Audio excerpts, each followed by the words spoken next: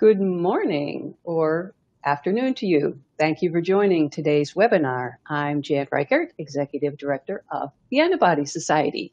I'm here with my colleague, Silvia Crescioli from King's College London, Cancer Antibody Discovery and Immunotherapy Group. And we will be your moderators. This is the first in a two-part webinar series on fundamentals of the immune system.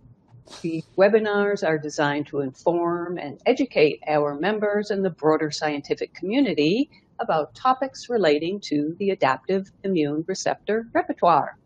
The Antibody Society is very pleased to include a group that works actively in this area. They comprise the adaptive immune receptor repertoire community, also called the AIR community. Our speaker today is a very active and long-standing member of the AIR community. Dr. Scott is Professor Emerita of Simon Fraser University in Canada. Today, she'll tell us all about organization of the immune system. Please note this webinar is being recorded. The agenda, as well as the slides for today's webinar, can be downloaded from the Materials tab in the viewer. The webinar comprises three chapters with short breaks between chapters and time at the end in which questions can be answered. So please do add any and all questions to the Q&A box in the viewer. We may not get to all the questions, but Dr. Scott has kindly offered to create a Q&A document after the webinar. When it's ready, a link to the document will be sent to all attendees. Without further ado, I now turn the show over to Dr. Scott. Good morning, everyone. Uh, it's great to be here. And um, thank you for attending this uh, series. Um, yeah, so I will just uh, get started right now um, on uh, chapter uh, one, which is an overview of the immune system. And let me point out uh, that um, if you uh, come across a slide where a question comes up for you, here's the, for instance, the first slide. This is just an overview of this chapter.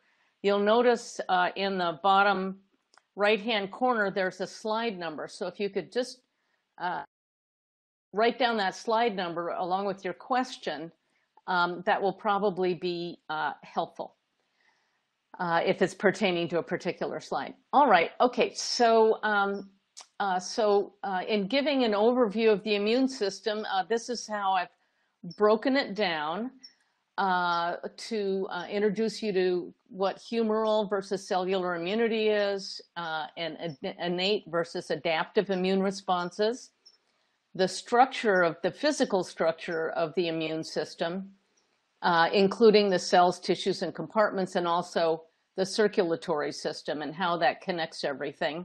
And then finally, uh, something about the timing and dynamics of immune responses.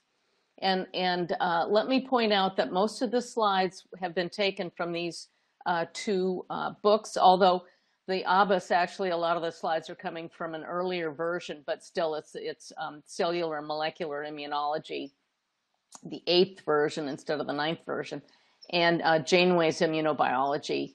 Uh, there's, you can see there's a lot of additions there. okay, uh, yeah. So uh, please put your questions in the Q&A box if you have any. And again, uh, if you can, note the slides. All right, so let's get started with humoral and cellular immunity. Um, uh, by the way, uh, this is going to be a fairly in-depth set of, of uh, these chapters. And so um, for some of you who have already taken immunology, uh, this will be a quick overview for you, and hopefully for the people who haven't had much immunology, uh, this will um, uh, be an introduction that um, that's that's helpful. Uh, some of what what I'm trying to do here, especially, is to focus in on um, the cellular subsets and the uh, immune repertoires because I'm part of the AIR community. So I'll get kind of heavily into the genetics behind um, T cell and B cell uh, receptors. So just so you know. Okay, so humoral immunity, uh, that term is, uh, is uh, uh, based on kind of the Middle Ages idea of the humors and the humors were kind of um, uh, liquids in your body, I guess you could say. And so uh, the term humoral immunity is really talking about uh, soluble proteins that are uh, floating around in, in your blood and so forth. Whereas cell mediated immunity is um, mediated by cells, like, like it sounds like. And uh, what that really denotes is the fact that when they talk about humoral immunity, these are the antibodies that, um, for instance, can bind to extracellular microbes and viruses and things like that. And they're made by a type of lymphocyte called the B lymphocyte.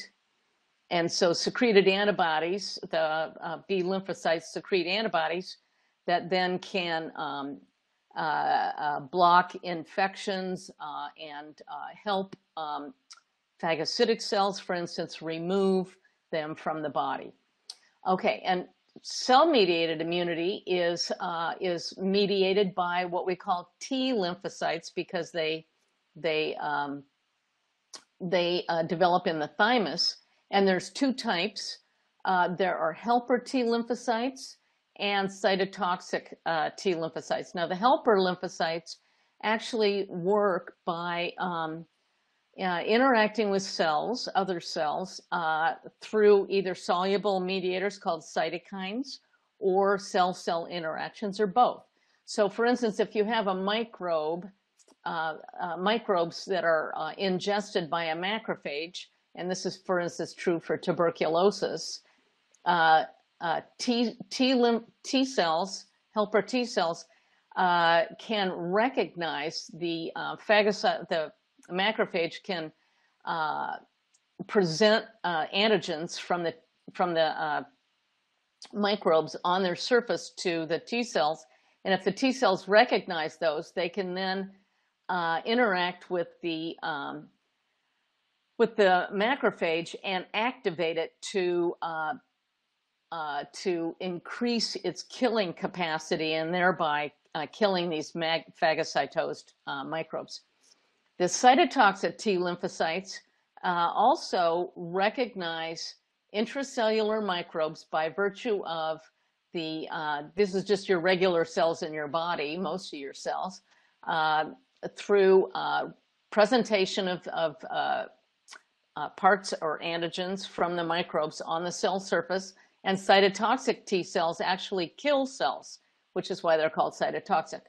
Uh, and uh, so they can kill infected cells. And so they're very important in um, getting rid of infection. So between the, uh, for instance, in an infection, between the antibodies, getting this, uh, getting the uh, extracellular uh, microbes and the cytotoxic T cells together, they can eliminate a lot of microbes. And of course, the helper T cells activating um, uh, phagocytes and so forth.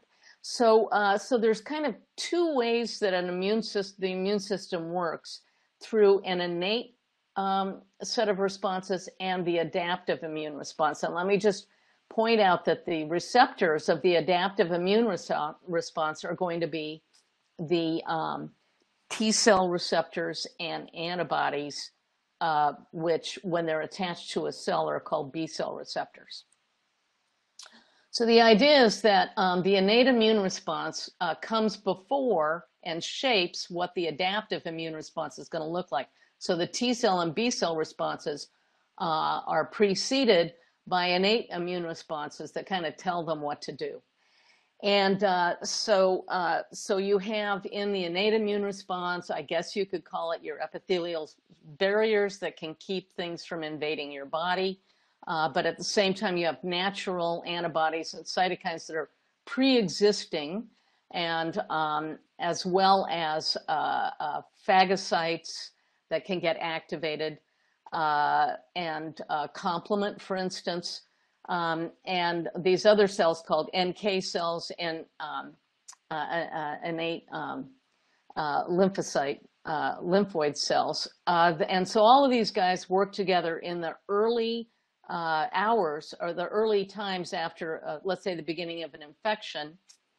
And I put a box around this cell called a dendritic cell because they link the innate response to the adaptive immune response.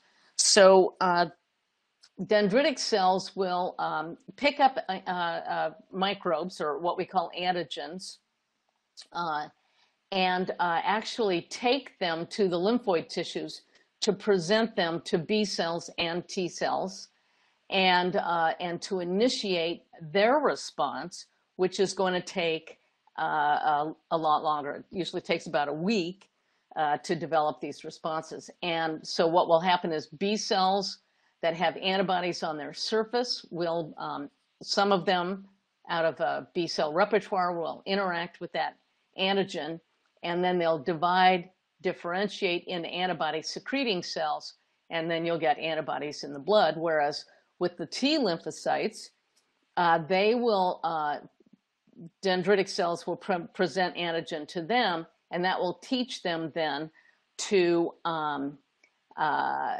to uh, uh, divide and differentiate again and become effector T cells, which will then uh, either kill infected cells if they're cytotoxic T cells or working through cytokines and cell-cell interactions help other uh, immune responses, including antibody responses.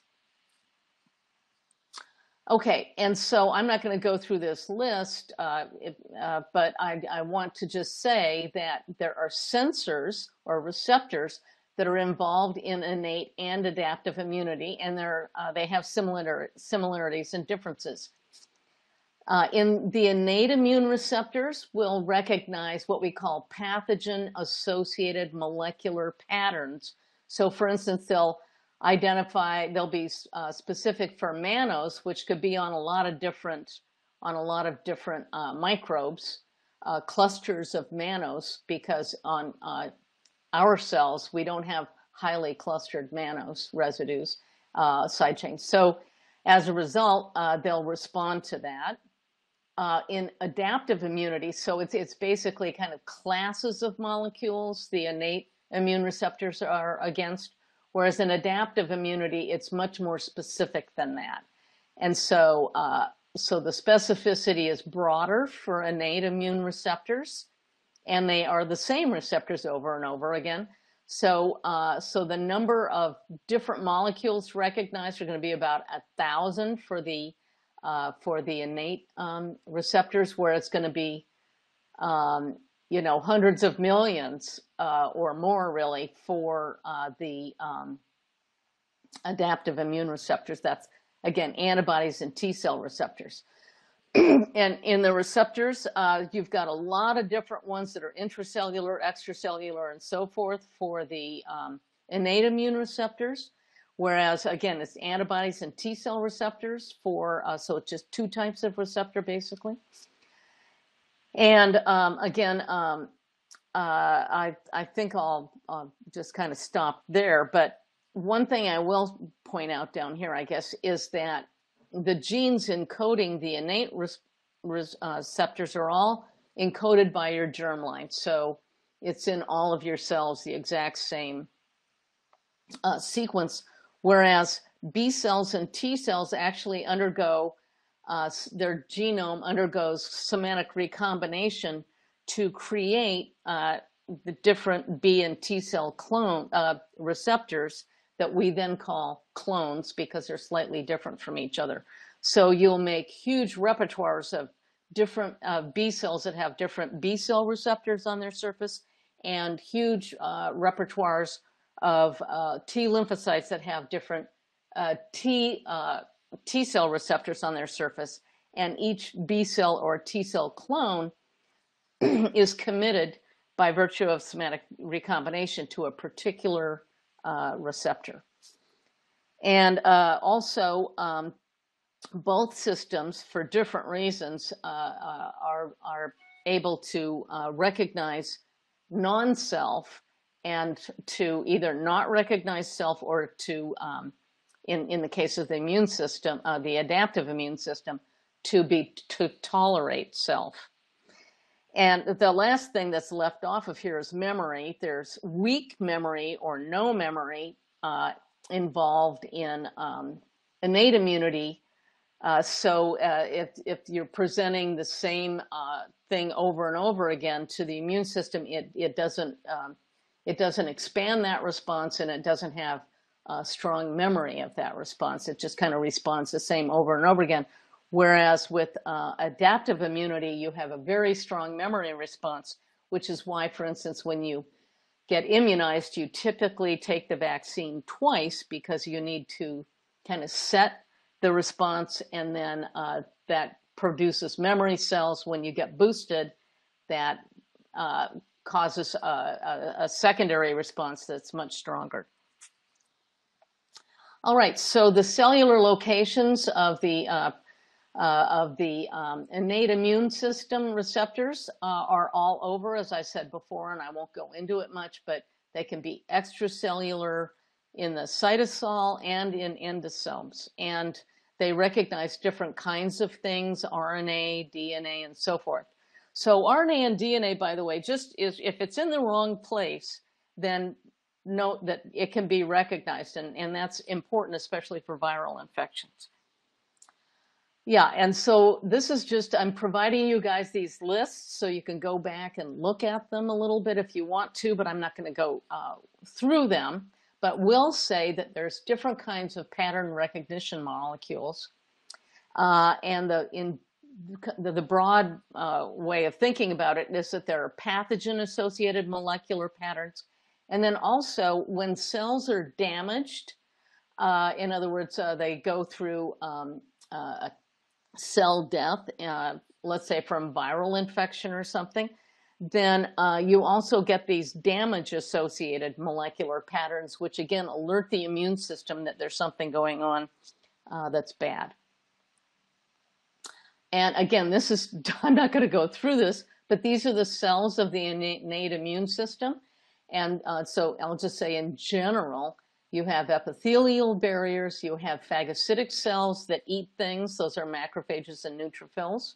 And by the way, macrophages are in your tissues, but they're derived from blood monocytes. Uh, you have dendritic cells, natural killer cells, and then you have these things called innate lymphoid cells that I'll talk about a, a little bit later, but they kind of work in collaboration with um, uh, T helper cells, and they actually make the same kinds of cytokines as T helper cells. Uh, and then you have lymphocytes that whose T cell receptors or B cell receptor diversity is limited and they're innate type T cells and B cells. So they actually act kind of early in the, in the uh, immune response. And then there are some other uh, cells, mast cells and basophils and eosinophils. So this is just a list for you uh, if you want to go back and, and look that up, those cells up later on.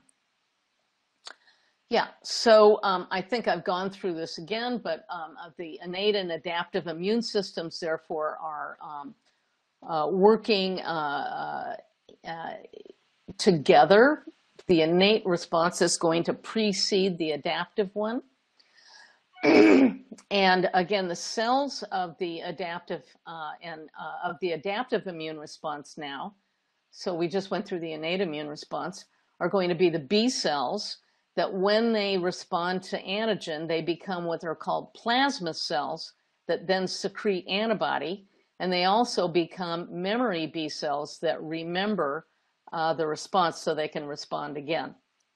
The um, T cell mediated immunity, again, the helper T cells are uh, have C this molecule called CD4 on their surface that helps them recognize uh, MHC molecules of a certain class, and uh, cytotoxic T cells have CD8. So you'll you'll hear about CD4 and CD8 T cells, and those are either going to be helper T cells or cytotoxic T cells.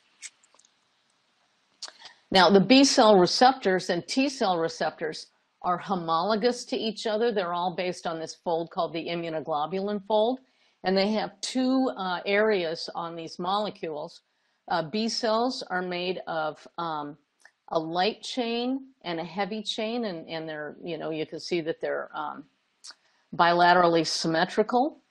this is the constant region that, that drives the effector function of the cell. So when a B cell, uh, when an antibody binds through its what we call the variable regions here, here. That's where they bind to antigen.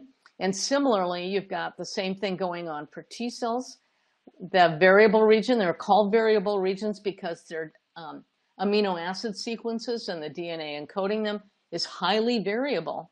And that's allowing for the basis of a wide variety of uh, uh, antigen recognition capabilities.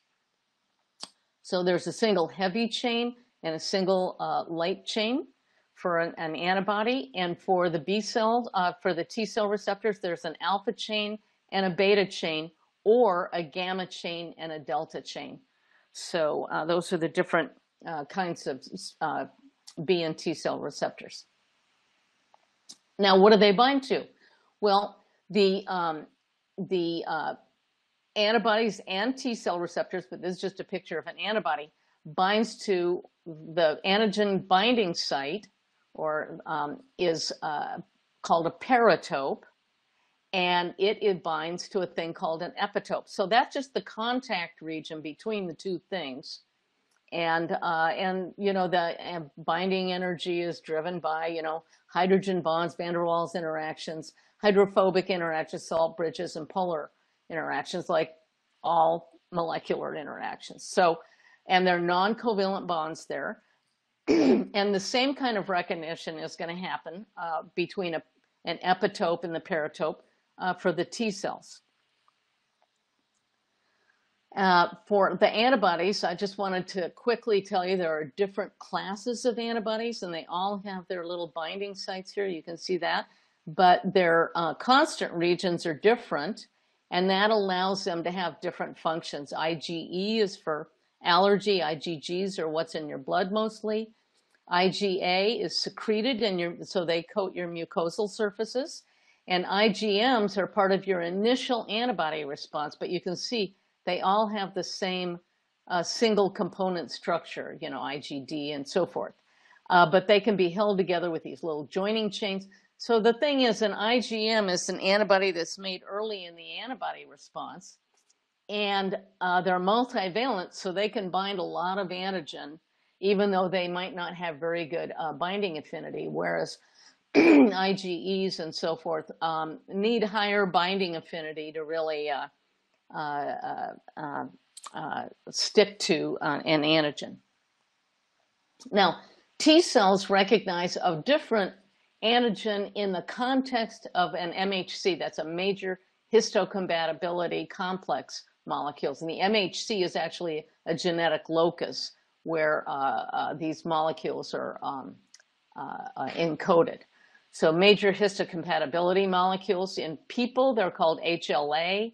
And in mice, they're called um, uh, something else. So anyway, so we'll just call it MHC to make it easy. And so the antigen will get broken down and uh, MHC will actually, uh, inside the cell, antigen will be taken up by the cell, broken down, and then um, little fragments of those protein antigens. So um, T cells only recognize protein fragments. They don't recognize anything other than protein. And so these peptides can bind to the MHC molecule, and that allows the MHC molecules to fold up properly, and then they'll be presented on the surface, the surface of the cell. Cytotoxic T cells, class uh, CD8 cells, recognize class 1 MHC, and helper T cells recognize class 2 MHC. And actually, the CD8 molecule will will the, the T cell receptor will bind to the surface here, whereas the CD8 molecule will kind of feel around to the lower part of the molecule and go, oh yeah, that's class 1 MHC, let's, let's do this. And the same thing will happen for uh, class 2 MHC for a, a, a helper T cell the T cell receptor will bind to the surface and uh, the CD4 will double check and make sure it's the right class of MHC and then go, let's do this, and they'll signal that way. So again, cytotoxic T cells will recognize MHC on the surface of uh, a cell and through CD8 binding to the MHC molecule and T cell receptor binding, it will then, uh, the T cell will then uh, realize that it's supposed to kill that cell.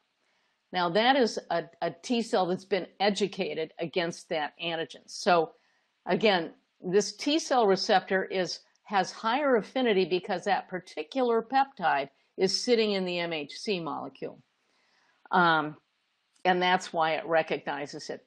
It's because of that particular peptide. And so the epitope recognized by the T cell receptor is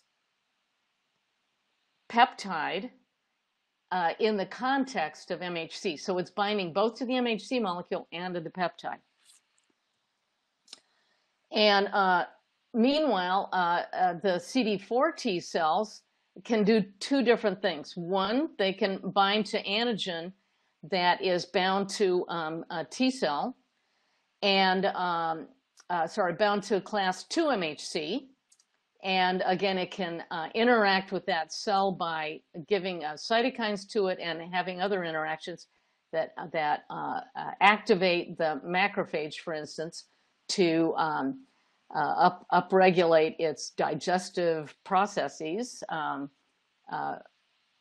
meanwhile, helper T cells, another type of, there's like seven different subsets of helper T cells.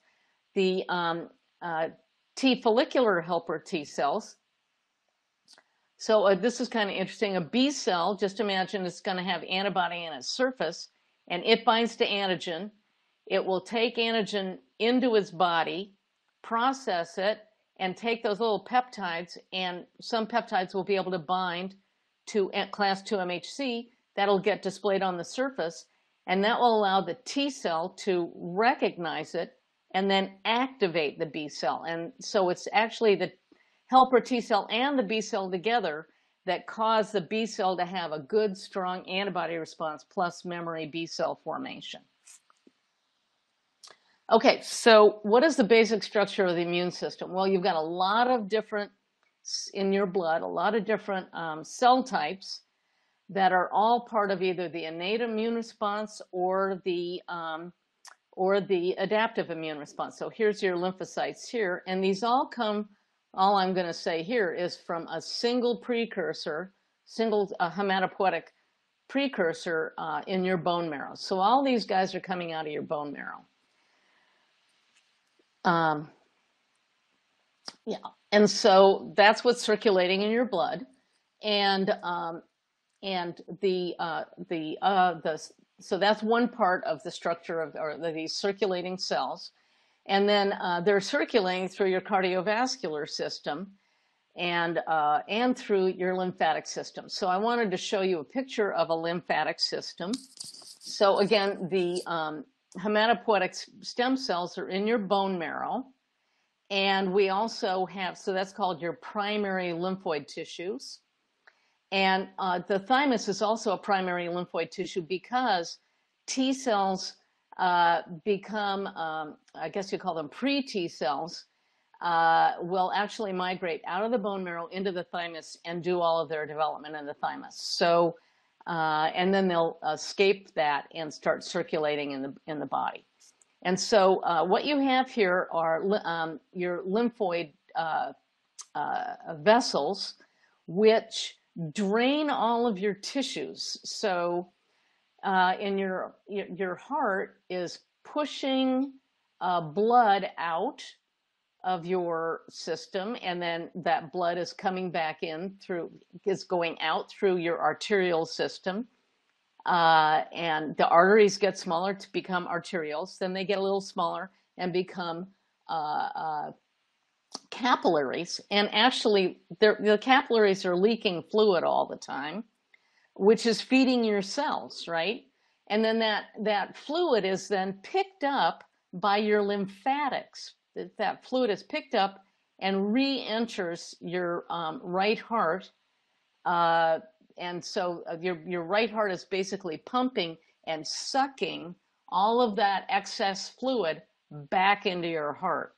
Now, your arteries are turning into, like I said, arterioles, uh, uh, uh, capillaries, and then venules, and then veins.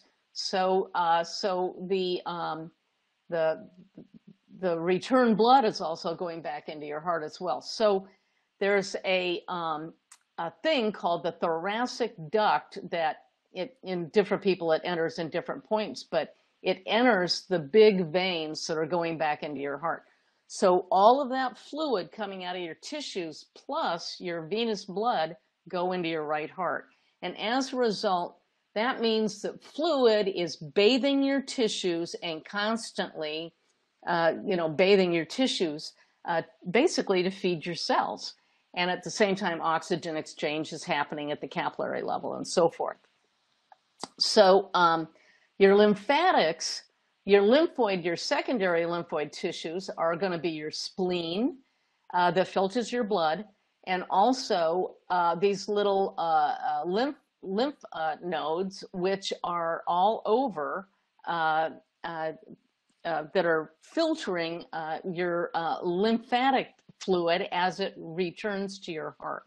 And the secondary lymphoid tissues is where your T cells and B cells go to find antigen. And they know how to home to those tissues. They're constantly checking them out. And so here's just another picture uh, of the, um, and, and this is this explanation I just gave you if you want to go back and read it because it's kind of complicated. But the point is, is that, um, that all of these lymphatics, again, are going to return to your, uh, your right heart uh, through um, through this uh, through your lymphatic vessels. And so it's it's kind of like a mirror image of your vascular system, your lymphatic system. Now, I also also want to show you a lymph node to tell you two different things. I'm going to call uh, so the here's these afferent lymphatics. So that's lymph that's flowing back to your um, right heart is coming in through the afferent lymphatics, and then it's going to kind of percolate through this tissue, and then it's going to leave going out the efferent lymphatic toward the heart. Antigen from your periphery is going to enter through this as well as dendritic cells. So let me go back and say that let's say you get an infection in your hand, you're going to have uh, uh, the uh, antigens, let's say it's microbes or something, you're going to have those antigens coming to the draining lymph node, as well as dendritic cells will pick up that stuff. Then innate immune response that it has, its innate receptors will go, oh my God, bad. I'm going to eat this thing and I'm going to take it to this draining lymph node here. And I am going to present this as antigen to the uh, uh, B cells and T cells that are circulating through. Well, how do the B cells and T cells get in that tissue? Well, the way they come in is actually through the circulatory system. So here's, here's an artery, red, and here's a vein, blue. And what happens is, is the B cells and T cells are in the blood, they come through, and this is a B cell uh, follicle. So the, these are follicles that B cells like to be in. And this is other tissue called the paracortex. Uh, so B cells are in the cortex or the outer part where there are follicles, and T cells are in the paracortex.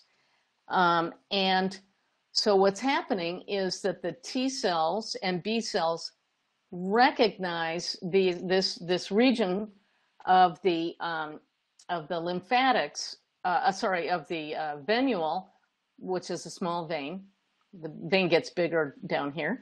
Uh, and and the, the cells lining your entire uh, vascular system, lymphatics and blood vessels, are called endothelial cells. They're the inside lining. And they're slightly different here. They're called high endothelial cells because they're just taller than regular endothelial cells and they have markers on them that B cells recognize and they will, and T cells, and they will leave and enter this tissue. The B cells will go into the cortical area. The T cells will go in the paracortical area. And when they get activated by antigen, because remember, dendritic cells have come in here and antigen has come in here. And so the B cells and T cells will then react with the antigen. If they recognize it and they get the right signals, they'll divide, differentiate, and then want to go and do stuff. So they will leave the in through the efferent lymphatic, go to the right heart, and then travel to wherever they need to go in the body. So that's the cool thing about these lymph nodes. Uh, so lymph nodes concentrate antigen and provide a place for T cells and B cells to see concentrated antigen in a highly, uh, uh, highly orchestrated uh, system uh, where where the uh, the immune responses are initiated. So dendritic cells are going to initiate these immune responses for the T cells and also to some extent for the B cells. But within the follicles, these uh, B cell follicles are another kind of cell, and they're not related to a regular dendritic cell called follicular dendritic cells, and they actually present antigen to the B cells. Okay, and I'm not going to go through this a whole lot, but the spleen is another organ that is a lymphoid organ, and the blue in here is kind of, uh, sorry, the white in here is where you've got T cells and B cells that are also um, is the white pulp of the spleen, uh, where also antigen is getting concentrated, and uh, you can push immune responses there. Another uh, type of tissue is the mucosal lymphoid tissue. So this is like the inside of your nose. All the it's kind of the outside of your inside. So it's your, you know, the inside of your throat, the inside of your esophagus, the inside of your stomach, all of that. Now they're coated with what are called epithelial cells. Your skin is a kind of epithelial cell too, uh, the outside of your skin. And these epithelial cells are uh, your mucosa, so they're covered with mucus, right? Anything that's wet, just think of it that way. And um, and uh, so you've got a you've got the uh, epithelium, and then the underlying is called the lamina propria, and that together uh, uh is going to be kind of like your um, your uh, your mucous membranes, I guess you could say, your mu mucosal lymphoid tissues. And again, antigen is going to enter. Like, just remember, if let's if this is your gut, you're going to have a huge amount of bacteria in, your gut. And so this is the barrier where if, if it gets breached by the bacteria, then, uh, then you can have an immune response that's uh, pretty, uh, uh can be very inflammatory. But normally, this is all kind of kept uh, quiet by uh, what we call T cells that are going to be regulatory T cells that allow your system to recognize the antigen that's out there but not respond to it. So it's tolerance. And uh, I, this is a horrible picture, but what I wanted to show you is this is a large intestine, and you can see all these little mesenteric lymph nodes draining it. So you have uh, uh, in in your uh, intestines, then you've got in on the inside you've got bacteria and all that, and uh, you've got these uh, you're absorbing food from your gut, and that's going uh, through these, it's going um, into your uh, circulatory system, but at the same time you have your draining lymphatics that are also um, pushing immune responses. Um, uh, through your uh, through your gut. Okay, so the general timing and dynamics then of the immune response is that that you're going to have an innate immune response. So let's say you have a pathogen that's trying to enter your body, um, and maybe you've got an anatomical barrier like your skin, and uh, that can prevent a lot of infection. But if that fails, then you've got pre-existing innate immunity, such as pre-existing uh, what we call natural antibodies. We've got the complement system. There's lots of different pre-existing uh, uh innate immune uh, cells there, uh, responses there. And uh, if that doesn't work, if those effectors don't uh, get rid of the infection agent, then you have an early induced response. So these are phagocytic cells and that kind of thing, uh, eating the bacteria and so forth. And if that doesn't happen, so that's uh, the, the pathogen associated molecular pattern receptors and so forth working. And if that fails, due to the dendritic cells and, and antigen getting transported to the lymphoid organs, you're going to then kick off an immune response. That's an adaptive immune response that takes longer. And again, this is just saying, again, you know, the, what I showed you before. Um, and again, so what's going to happen then is if you get a little infection, you're going to initiate an immune response, and those effector cells are then going to circulate to the body. They're going to go back to the heart, circulate to the body, and provide their effector function. And for instance, they're going to come back down to this infection that's peripheral, and they're going to attack that infection. So the point is you've got two things happening here. You've got the cells getting recognizing the immune, uh, uh, the uh, antigens and all that locally. So you have a local infection, concentration of antigen in the lymph nodes, T cells and B cells, naive ones, naive lymphocytes, recognizing this. They become activated. They figure out what they're supposed to become. They divide, they differentiate, they leave go back to the right heart, and then go into the circulation where they return and knock out that infection. Okay, so I've just gone through that, and I'm this is me explaining it again if you want to go back and read that sometime.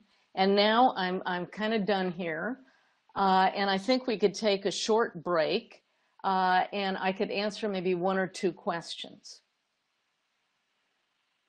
if anybody has any. So, uh, uh, I, Silvia, are you gonna, are there any questions there for me to answer? Yes. Hello.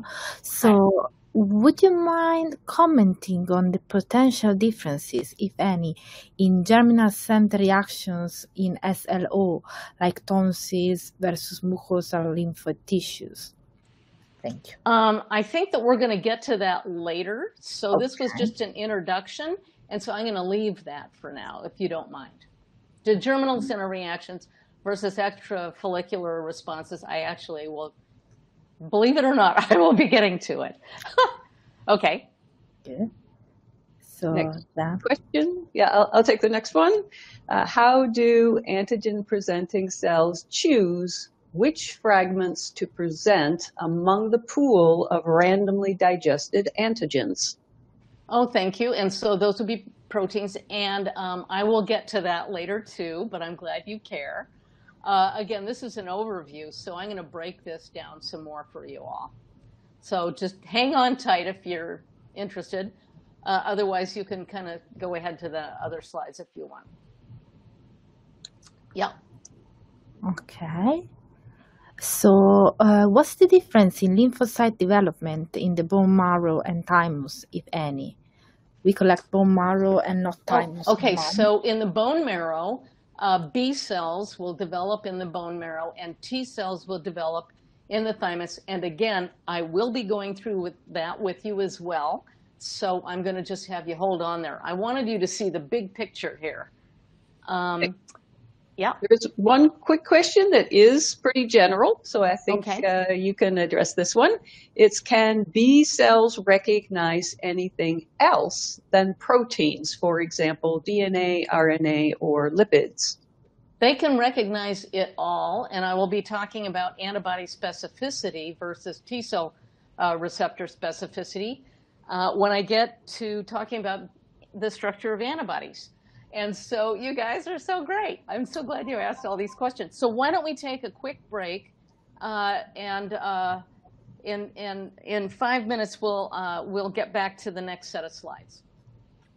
Okay, well, good. Those were great questions that were asked, and I hope I can answer some of them now for you. And again, in this chapter, we're going to be talking about the genetic basis of B cell and T cell receptor diversification, because remember, there are hundreds of millions of different receptors in these repertoires, uh, how they get positively and negatively selected, uh, because your immune system only wants certain uh, certain uh, recognition uh, capabilities, and uh, what the B and T cell subsets are, because there are a bunch of them. and some of them are more innate and some of them are more quote adaptive um, and then also we'll be talking about adaptive immune uh, receptor repertoires and what they are, and a little bit about how they're currently assessed. But I will tell you that when it comes to number two, there is an excellent set of webinars on the um, Antibody Society uh, website uh, by Victor Greiff uh, that it goes into much more detail uh, in terms of looking at adaptive immune receptor repertoires. But here you'll understand the genetics behind all that. Okay. So uh, the the the idea selection by um, antigen was uh, postulated in the 1950s and 60s. So this is like the central idea behind how the adaptive immune uh, system works. Uh, there were competing ideas, but this one actually turned out to be the one that was mostly true and uh, won a uh, Nobel Prize for uh, Sir, Sir Macfarlane Burnet and others. So the idea is that it's clonal selection. This is the important part by antigen, by antigen. So his, the ideas behind a clonal selection is that every lymphocyte has a different type of receptor with a unique specificity to it. Uh, and that the interaction between a foreign molecule, which is what we mean by antigen, an antigen is something that generates an antibody response. That's how it was first defined because the first thing that people understood were antibodies, not T, they didn't even know T cells existed. So uh, the foreign molecule and a lymphocyte receptor capable of binding that molecule with high affinity leads to lymphocyte activation and differentiation. Differentiated effector cells then uh, derived from those activated lymphocytes will uh, bear the receptors identical to uh, what the antigen bound, which is not completely true, but it's mostly true. And uh, then uh, lymphocytes that bind to self get uh, negatively selected.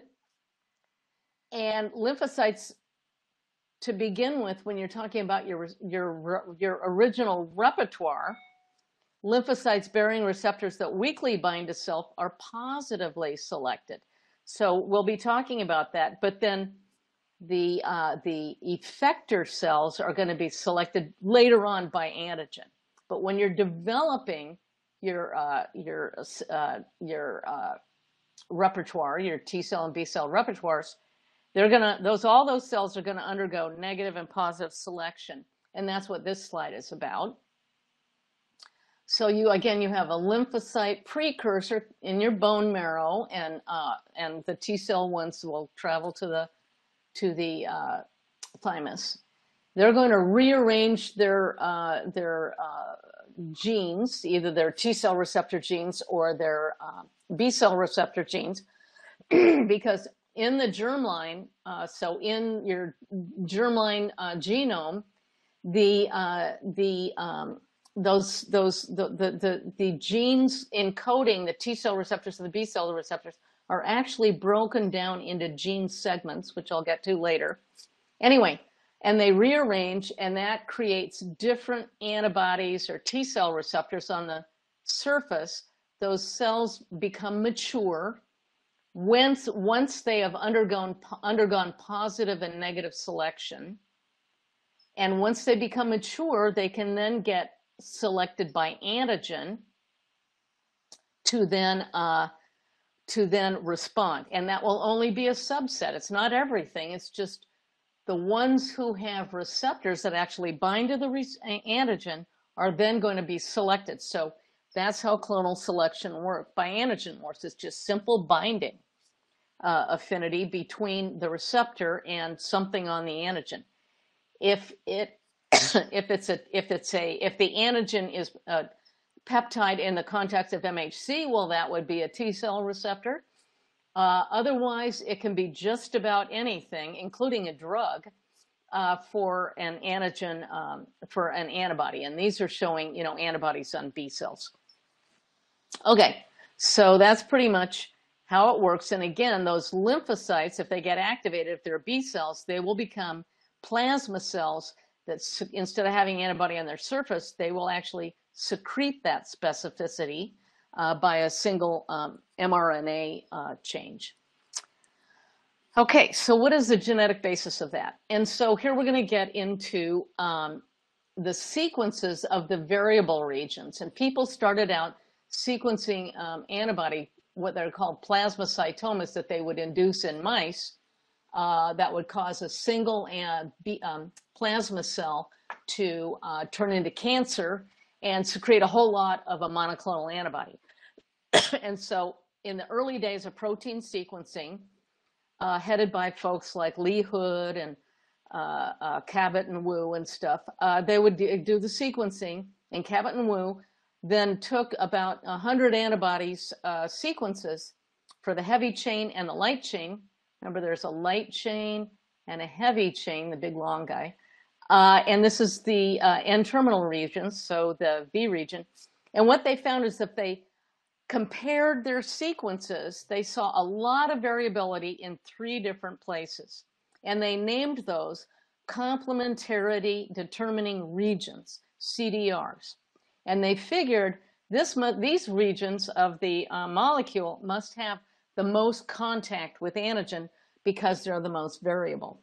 In other words, they're they're different, most different between antibody sequences. Same for the light chain. Now, I'm just going to tell you in advance that the there's going to be a V gene, a D gene segment, and a J gene segment encoded in the germline. And there's a whole lot of these guys. There's a whole lot, there's like 50 or so of these guys in people. There's about 25 of these guys in people. There's six of these guys in people. These so there's 50 V genes, 23 or so D genes, and six J genes. And one of each of those is going to get picked out and recombined together to form uh, an antibody uh, heavy chain variable region. So this guy. And all of this leading up to, uh, it should be saying CDR, not hypervariable, but CDR3 uh, is encoded by the, a V gene. A D segment is coding this middle part, plus you're going to see that there's variation where everything's stitched together here. And the J gene is encoding this blue part. And so this is the framework region, the CDR1, framework 2, CDR2, framework 3, CDR3, and framework 4. Same thing goes for the light chain. The only difference is, is that light chains are only encoded by two gene segments, a V gene and a J gene. And I will also point out that the joint between the two is going to be at CDR3 of the light chain. It's the most variable region of the light chain. So all of this variability is germline encoded all the way up to here and same here. Okay, just so you know. That's why there are a lot of V genes. Okay, so why, what does that look like in terms of protein structure? Well, it looks like this. So this is an immunoglobulin fold and the CDRs are all clustered together. So they actually form a little surface here that is highly uh, variable, especially the CDR3, because it's uh, VDJ or DJ joining, and where the joining happens, there's a bunch of variability I'm going to show you later on. So it's forming the paratope, or the antibody combining site is what it's called in an antibody.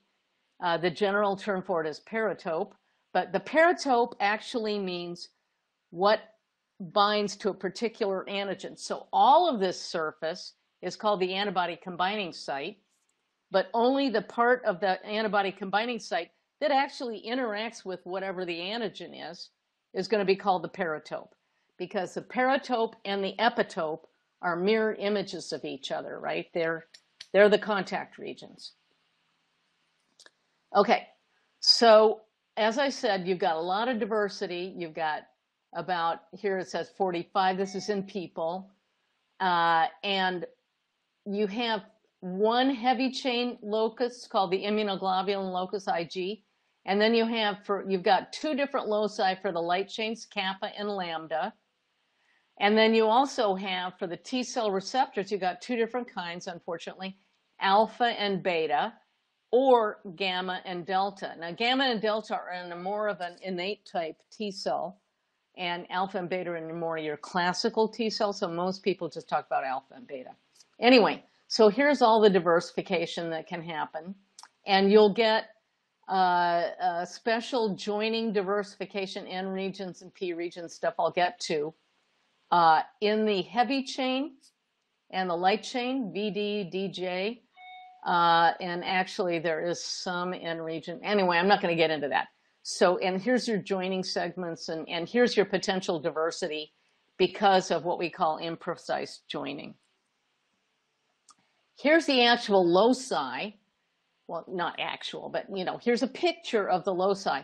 And what you see is that for every, so these are the multiple V genes, and then further on down the line, these are the D segments. There's about 23 of them. And further down the line, here's J. And then you have uh, all of the regions that are encoding the different constant regions. Because remember, there's IgM, there's IgD, there's four different kinds of IgGs. So here's gamma 3, gamma 1, and so forth, IgA, and so forth. Uh, and here's the kappa uh, locus. Again, you've got V genes and you've got J genes, and then you've got a constant region. And you for lambda, you've got V genes and you've got different constant regions. Don't ask me why, because I don't know. But um, I think it's, well, I'll, I'll get to that in a minute. Anyway, in front of every one of these genes is a promoter. So what happens is you're basically going to get a J during B cell development, the B cell goes, okay, I'm gonna, I'm on, I'm, I'm, I'm a pre B cell. I'm finally gonna rearrange. I'm gonna take one of my J's and I'm gonna link it up to one of these D's, and then the DJ is gonna pick out a V gene with a promoter, and that promoter is gonna get activated because now it's gonna be near an enhancer right here, and because C mu is just downstream that this whole thing is going to get uh, transcribed. So you're going to have transcription uh, and a VDJ here in the middle part gets cut out. Anyway, as a result, that's going to give you your antibody. And similarly, you're going to have a J, V, and there's a promoter here. I forgot to put P's in here. Um, uh, a JV recombination or a lambda, you know, kappa or lambda JV recombination to make the light chain. So what happens in the stages of B cell development in the bone marrow then is that you have a stem cell, then you have a common lymphoid precursor, that's what CLP stands for. Then you have a precursor of a progenitor. And when you get to that stage, basically, you finally become a pro B cell and you'll turn on these genes that will allow for DJ and then VDJ joining and uh, that's going to be a recombinase that's making it come together, and I'll talk about that in a minute. And also, uh, you're going to have uh, TDT adding nucleotides on the ends of the joints to variegate these joining regions even more. So the point is that you're going to make a good V, uh, heavy chain gene, and that is going to go up on the surface of the cell along with a surrogate light chain. It's a fake light chain but now the cell knows that it's got a good heavy chain. It's going to divide a whole bunch, make a whole lot of copies of itself, and then uh, it's going to go back and uh, and and uh, go through. Uh, so there's the proliferation. It's going to go through VJ joining and become. Now it's going to get rid of the surrogate light chain, and that's how you get your second and now it's an immature B cell that's going to have to go through positive and negative selection. And then it'll finally be a mature B cell and it'll go out into the, uh, to the periphery. Now, I wanted to go into a little bit of detail about this VDJ joining stuff. And this is, they're just showing a uh, light chain rearrangement because again, this is for the, uh, uh the uh, uh, repertoire people out there. So the point is, is that you've got a V gene and it's got this little guy here and this little guy here. These two little guys together are called recombination single signal sequences. They don't code for anything, but they allow the genes to get aligned. They allow the genes to get aligned so the RAGs can cut in, come in and do a cut here and do a cut here that are then bringing V and J together. And so as a result, you cut out a loop, and that's just sitting there like a little episome in the cell, minding its own business, and it gets ligated. And then also what happens is the ligation happens at either end, because remember this is DNA, so it's got two strands, creating these hairpins. And here's the crazy, weird thing that happens. By the way, this whole system was stolen by retroviruses, God knows how long ago. So this is where the imprecise joining happens here. So basically, then these guys are going to get clipped in an imprecise way. They don't, they get clipped, and I'll show you in the next picture. And as a result, then, you can add what we call N and P nucleotides on either end of the joining, which is this guy that's pink right here, and then it all gets ligated together. So this is what it looks like. You get the you get the two strands. So this is where the V gene is, and over here is where the J gene is, and it got clipped, and then it gets ligated, okay. And then if this guy gets clipped here, then these residues are going to flip out, see, like that. And if this guy gets clipped here, it's going to flip out like that, and then it's going to get filled in. Those are called palindromic because it's a palindrome. TCGA is a palindrome. Those are palindromic residues that can get added on, right? So those get filled in, and those are called P nucleotides. But with uh, something called TDT, uh, that's another nucleotide that is non-templated or N nucleotides can get added on at random. So you can have P nucleotides and N nucleotides, or this whole thing can get chewed back by exonucleases, and you and you can actually chew back into the gene. So this is important for people when they're looking at the uh, CDR3 of the light chain. This is the CDR3 of the light chain, but typically you wouldn't see N nucleotides there because TDT isn't very active when you're rearranging your, your uh, light chains, but it is pretty active when you're rearranging your heavy chain genes. So, uh, so the point is the P nucleotides can be deduced because they're at the end of the germline gene. We, we have the sequences for all the germline genes. So it's at the end of this and you see a palindrome, you know it's a P nucleotide. Anything else, it's not templated. It's not templated on the germline gene, therefore it's an N nucleotide. And that's how people figure it out. So again, here's a picture of the heavy chain constant regions. They're all, uh, this is one exon, this is an exon, this is an exon, this is an exon. Then you have little exons here, transmembrane and cytoplasmic for a B cell receptor. That gets replaced by a, a secretory component, or a secretory piece, uh, when uh, in a plasma cell for secreting the antibody, and this is the light chain. It, it doesn't it doesn't have a transmembrane anything. But you, and here's the three CDRs encoded on the germline gene, but not the and, and this this this is wrong because it, it, shouldn't show the J, but um, that's the CDR3 and the CDR3. So, and the same thing goes for T cell receptors for the alpha chain is like a light chain. It just has VJ and the beta chain is just like a heavy chain, it's VDJ.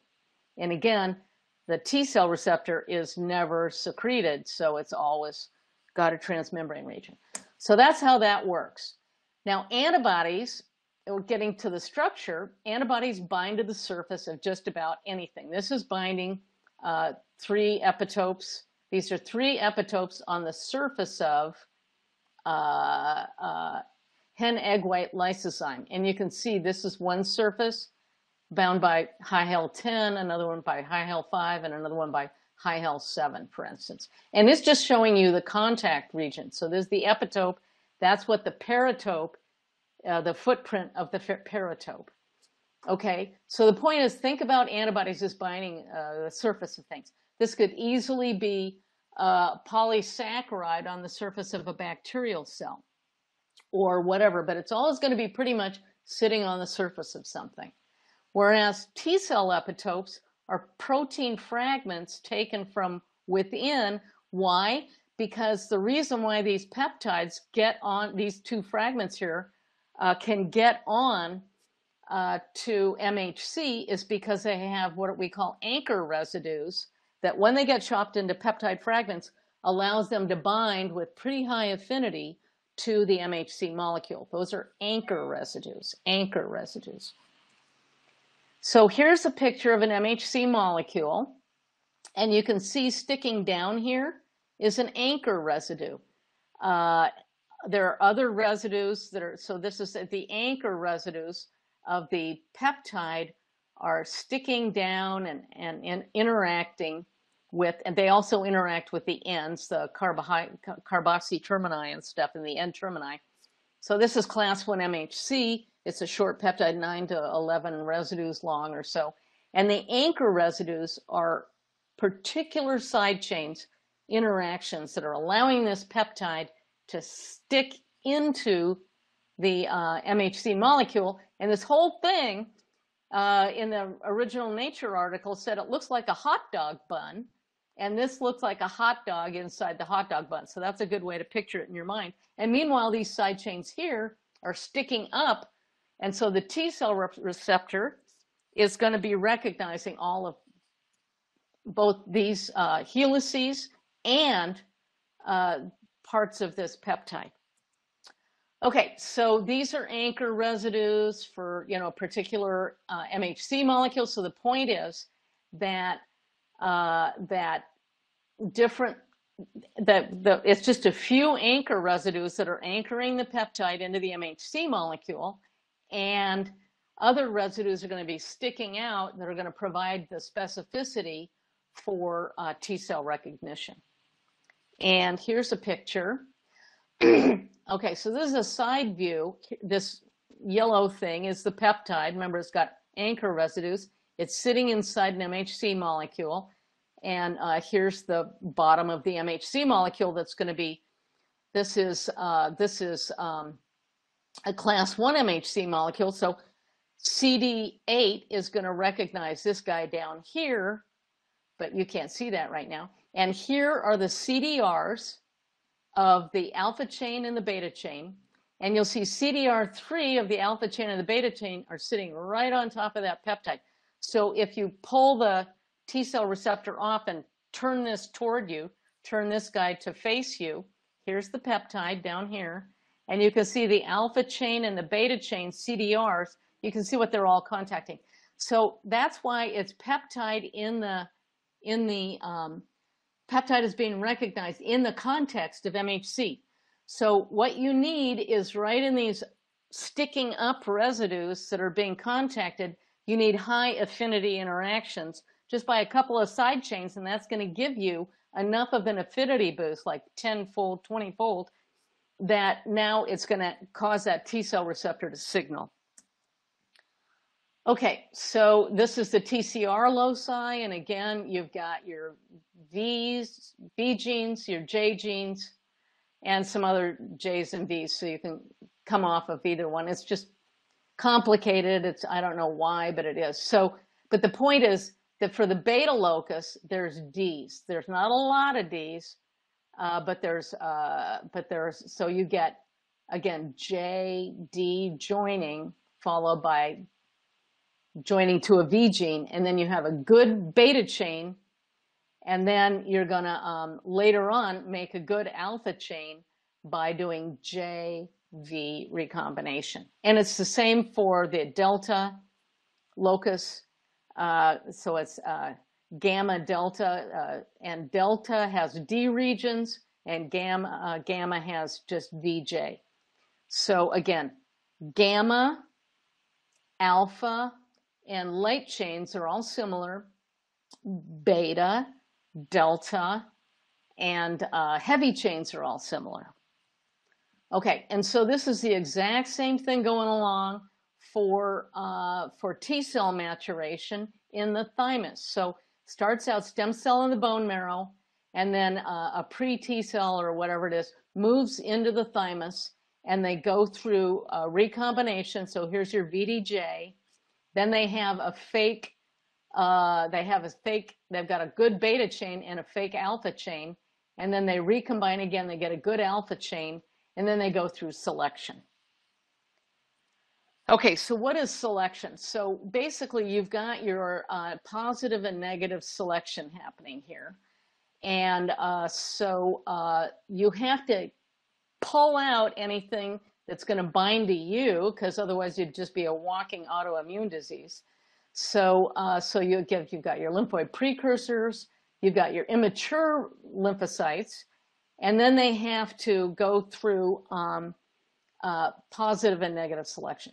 So even with the B cells, they actually bind very, very weakly to self, uh, and depending on which B cell subset you're talking about, and uh, in and they signal, and that allows them to survive. But then if they bind too tightly to self, they get destroyed. So you end up with mature B cells that uh, then go into the periphery, and there they they're kept alive by kind of very very weak self signaling, and um, if they see anything that they bind tightly to, they'll die. If they're not getting any kind of positive uh, signal, they'll die, and um, and uh, they can also be suppressed by uh, T regulatory cells. And so that was is peripheral tolerance. Central tolerance is uh, getting uh, knocked out at the point of your development. So again, we, have got a, a bunch of different places where we have quote negative selection happening. Uh, so again, we have negative selection in the bone marrow, and uh, and uh, and and if you have well, this is it's complicated, but you can have uh, uh, uh, anergy happening with low avidity and low binding, but it's usually these are soluble proteins. So I I, I know that's going to be confusing to you, but anyway. But let's talk about T cells because they're very cool and they're better understood. So you've got uh, a postcapillary venule, you've got cells coming into the thymus, and they actually go through uh, maturation uh, uh in particular places in the thymus, and they're going to recombine their genes and all that. And then the point is, is that they're going to be seeing and getting selected on MHC because uh, your T cell repertoire, it's never seen MHC before, and yet you want to train. So this is really important. You want to train your um, your uh, T cell repertoire to recognize your MHC molecule, not somebody else's, but your MHC molecules. And so what happens is those T cells bind to what are called thymic cortical epithelial cells that have class 1 or class 2 MHC. And when the T cell receptor from a T cell is naive and it doesn't know anything, it's not, it's not CD4, it's not CD8, it's actually double positive, they call it. It's double positive. It has CD4 and CD8. It will bind, and CD4 and CD8, if, if, it, if the T cell receptor binds to the surface of the MHC molecule, CD4 and CD8 will feel underneath that molecule. And depending on whether it's class 1 MHC, if it's class 1 MHC, CD8 continues to bind and CD4 gets downregulated and that cell becomes a cytotoxic T cell. So it's a CD8 T cell. If it's if the T cell receptor binds to an MHC molecule that's CD4, then and and and those could be uh, tight binding or weak binding. It doesn't matter. Just binds to a certain point, and the CD4 uh, recognizes the uh, MHC molecule because it's class 2 MHC. Then CD8 gets downregulated and that T cell becomes a CD4. So now it becomes a single positive cell, CD4 CD8. And then uh, further along in the, um, uh, in the uh, in, not in the cortex, but in the medulla, you got medullary epithelial cells and macrophages and other guys and dendritic cells and so forth that you get negative selection on. And that means that if the MH, if the, if the, if the T cell receptor binds too tightly to the MHC molecule and signaling a whole lot, then it, it gets deleted. So now what you wind up with is a T cell receptor uh, repertoire that only recognizes class one or class two MHC of yours and it also binds weakly. And so that allows then for a peptide that's foreign to have residues sticking up there that somebody in the re- repertoire is going to feel see that see those side chains sticking up and go oh i'm binding better now. And now you get that tenfold jump in affinity and that allows the thing to signal. Okay so uh, so again uh, going back to your t cell and b cell lineages then thinking about the bone marrow you've got a hematopoietic stem cell that's going to have a lymphoid progenitor that is either going to go to the thymus and become T cells.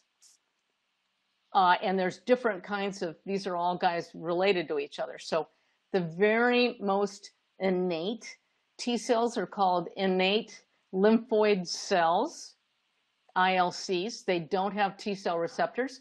That includes some NK cells, natural killer cells that you may have heard of, and also these thing called NKT cells that actually do have a T cell receptor on them.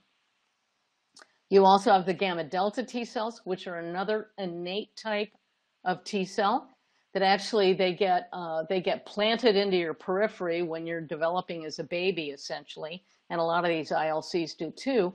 And then you've got your classic alpha beta T cells that we're all used to. And they can either be CD8 cytotoxic T cells that bind to class 1 MHC, or they can be CD4 helper cells that bind to class 2 MHC, and they can differentiate into a bunch of different kinds of T cells based on the kinds of uh, cytokines that they uh, secrete. So, for instance, T follicular helper cells, they go to the follicle and they help antibody responses. T follicular regulatory cells will suppress antibody responses. T regulatory cells will uh, uh, secrete uh, cytokines that uh, knock back TH1, TH2, or TH17s, and, and we'll get to these T, T cell subsets in a minute. Meanwhile, for your B cells, you also have more innate like and more uh, adaptive like B cells. We have B1 B cells that circulate. Uh, we have uh, what are called marginal zone B cells that uh, circulate in uh, people but not in mice. And they're more innate like, they have a more limited repertoire. And, uh, and then we have your follicular B cells. So um, that go to the follicle and uh, you know can get activated by T cells and so forth.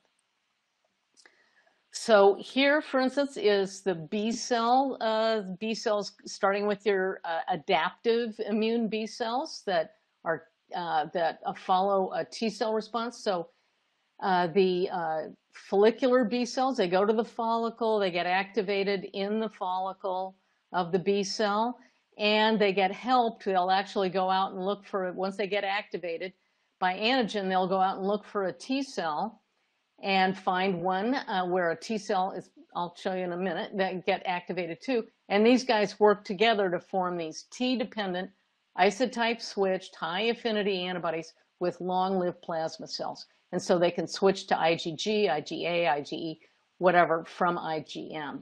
They originally start out as IgM. Marginal zone B cells uh, are, um, and these guys can be against anything, but they need protein. Why? Because you, you need protein to get a T cell response. So there's got to be some protein in there, even though the, the antibody doesn't necessarily have to bind to protein. It can bind a carbohydrate that's connected to protein. Okay, so the uh, marginal zone B cells are in the marginal zone around the follicle. That's why they're called marginal zone B cells. And they're really good at binding the polysaccharides and lipids. They form part of your T independent immune responses. They can class switch a little bit. They uh, are usually short-lived uh, immune response immune responses, and they're really great. They kind of act in a more innate way.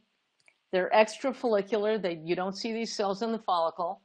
And uh, they produce antibodies of intermediate affinity, IgMs and IgGs and IgAs, uh, but mostly IgMs. So, and then in your mucosal tissues, you also will have, uh, in your peritoneal cavity, you'll have these B1 B cells that are kind of like a, a marginal zone B cell. And again, they can run T independent responses. And they're really great at making natural antibodies. Uh, so uh, you don't have a very good antibody response unless you've got bacteria in your gut. And that's probably just, uh, you know, uh, against PAMP-like molecules that are on, on, on microbes. Okay, so those are your three kinds of B cells.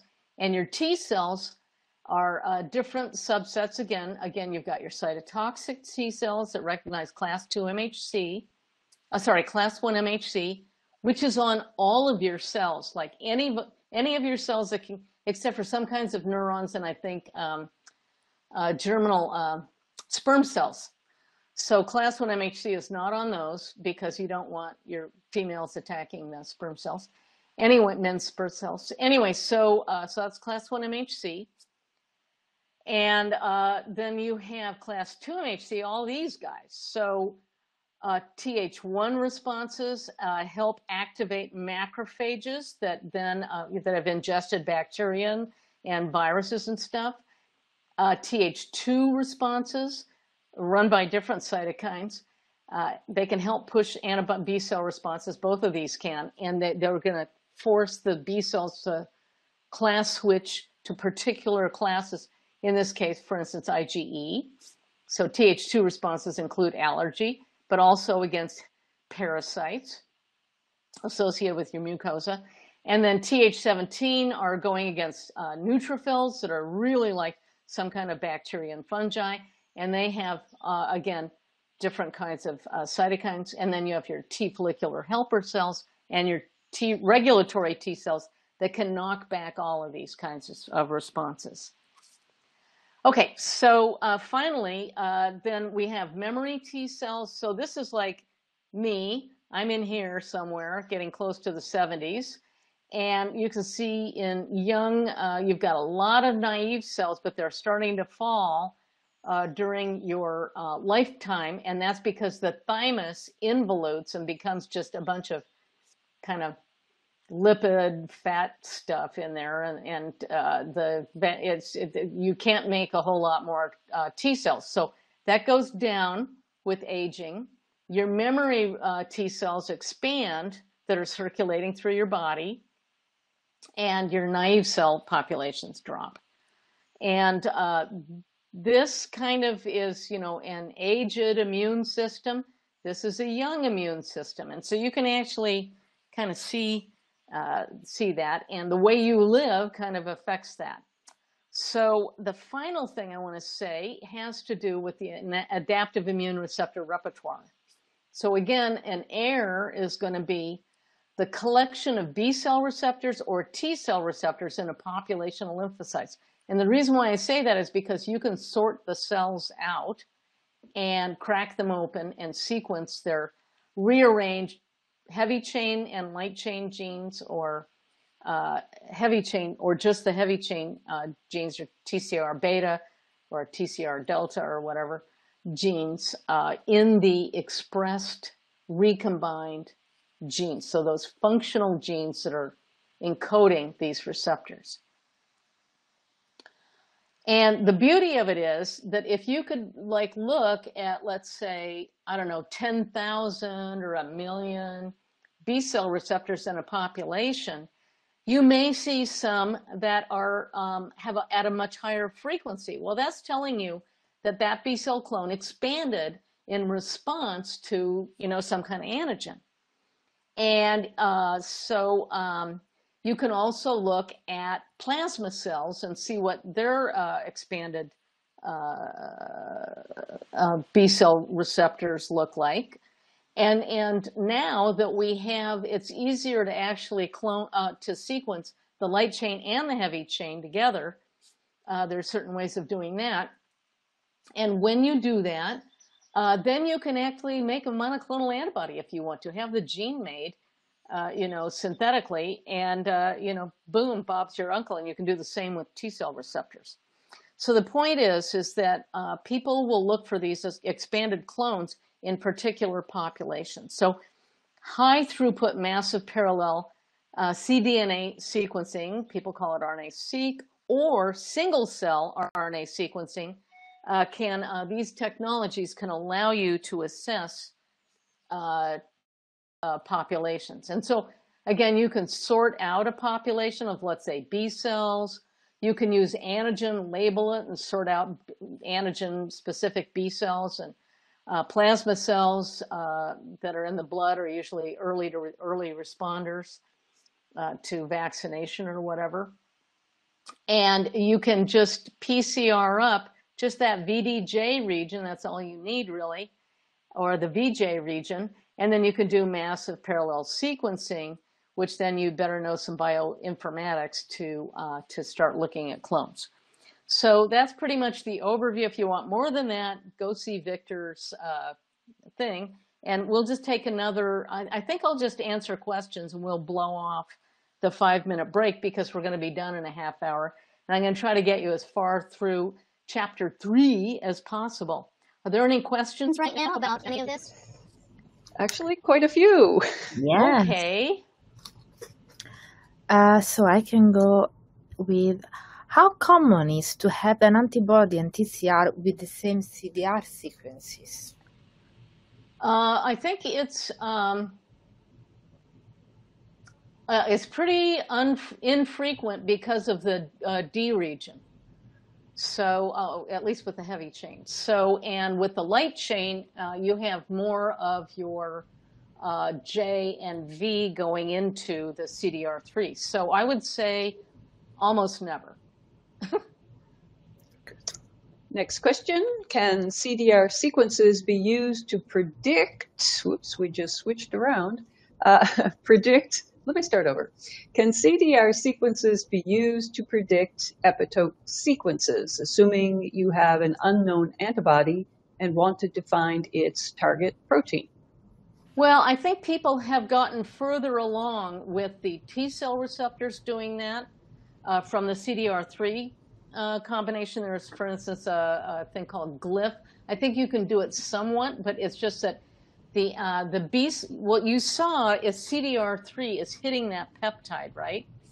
And and not only that, but it's only certain kind of side chain interactions that are going to give you good affinity, like a hydrogen bond, uh, probably not, but a salt bridge, yeah, a hydrophobic interaction, yeah. So you can actually kind of figure out in that peptide if you know what residues are sticking up, uh, what the interactions are going to be to some degree, and so. Uh, I think people are further along with uh, predicting uh, the sequence of uh, antigen from T cells. It's harder to show it because you have to take soluble MHC and get a peptide into it, label it, and, and light up your T cell receptors that way, which is kind of a pain because there's so much variation of MHC. Uh, but that's what, what you can uh, do. And with antibodies, it's a little bit more tricky uh, but I think people are making progress with that.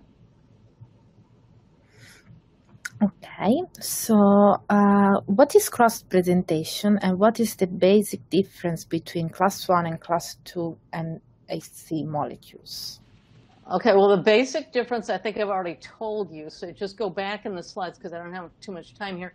Uh, but class 1 molecules uh, are you know, they're, they're uh, encoded in the MHC region of your genome. And uh, I can't remember what chromosome that is. But you have, uh, for instance, you've got three different, on each chromosome, you've got three different class one and um, molecules. And uh, you've got, it's a, just a single chain uh, and your class two molecules, I think you should just look this up and read about it, but you have two chains, an alpha chain and a beta chain for class two MHC, which is easy because it's two, you know, uh, Roman numeral two, so it's easy to remember.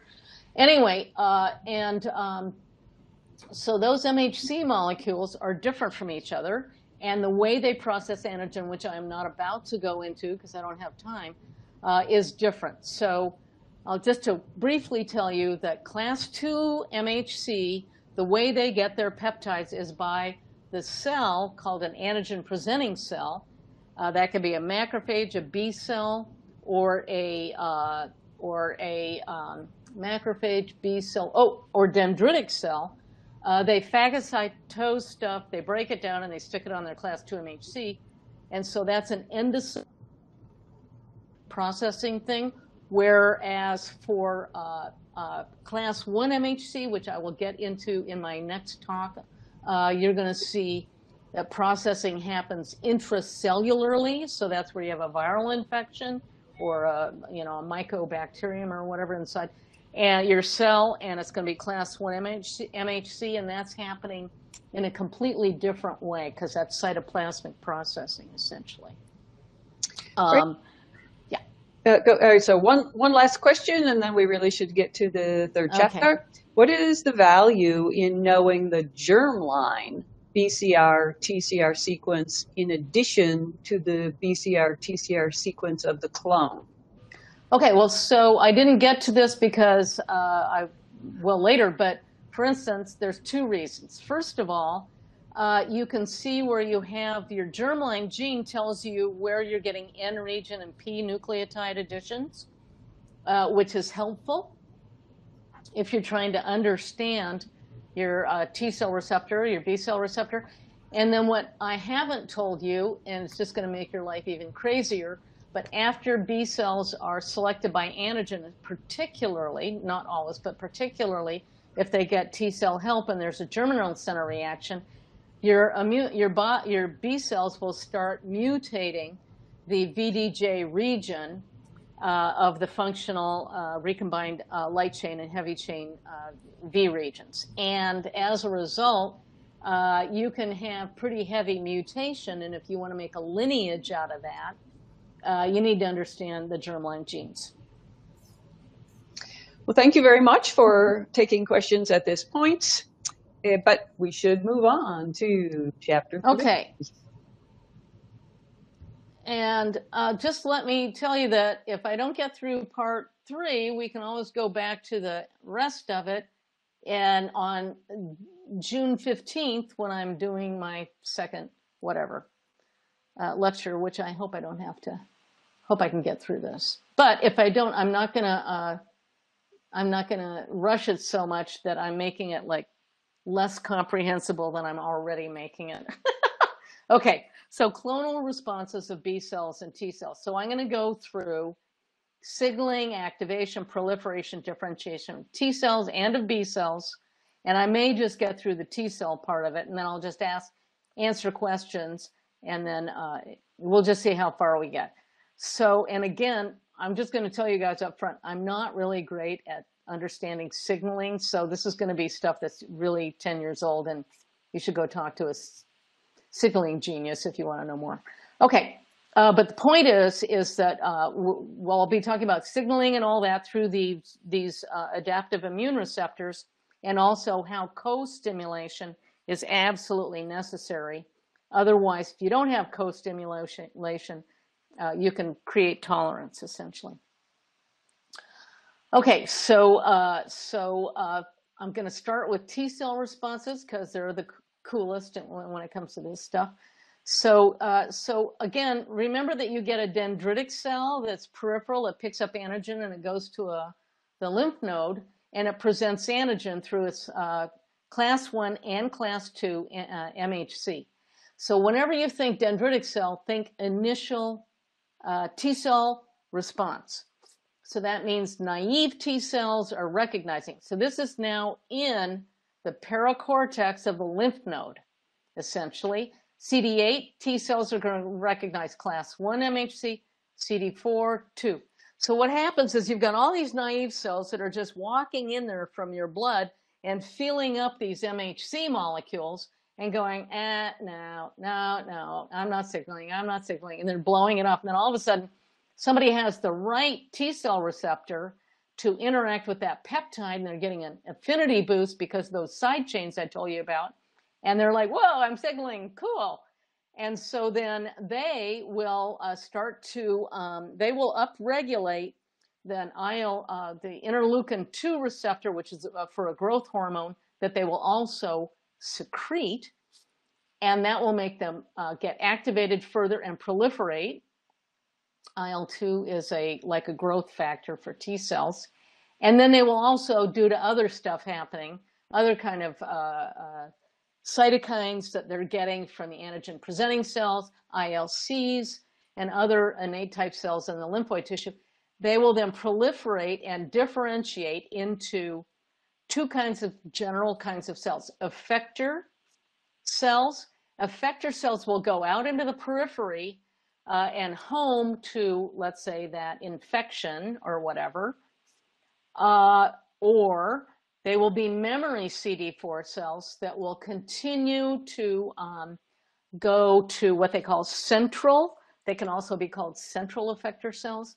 So there's kind of gradations of memory, but they go back and they're constantly. So not only can this APC activate a naive cell, they can also activate a memory cell that has traveled back to the uh, to the uh, uh, lymphoid tissue looking for antigen. And that's why when you get boosted, these memory cells can go back and go through this whole thing again and um, expand even further. And, and memory cells respond much faster than naive cells do. Naive cells respond kind of slowly. These guys will be in a day or two, boom, they respond. So the point is, is that this picture is a little bit false because in the background you should also be seeing central CD4 and CD8 central effector memory cells uh, going in here and uh, getting reactivated if they see the antigen again. Okay, killing of infect. So the same thing happens with these. Uh, you'll get effector cells and memory cells in the periphery. Okay, um, what else? Activation. Okay, so uh, again, so what's going to happen is that naive T cells are going to come in through the arterial system, walk out of those high endothelial cells, get activated by a dendritic cell, and then what they can do uh, is uh, uh, they can then uh, become effector T cells and go out of the efferent lymphatic and go to the site of infection. They can also, if they're a CD4 uh, T follicular helper cell, they will travel toward the B cell follicle following a chemo, chemokines made by the, the what are called follicular dendritic cells, and they'll just kind of wait. And B cells that get activated by antigen held by the follicular dendritic cells, if they get activated, they will come out and interact with that T cell, and they will then go back in together and form a germinal center reaction. And when they're ready, they will leave through the uh, efferent lymphatics to uh, go do whatever they're supposed to be doing, memory B cells or whatever, uh, and memory T cells and so forth.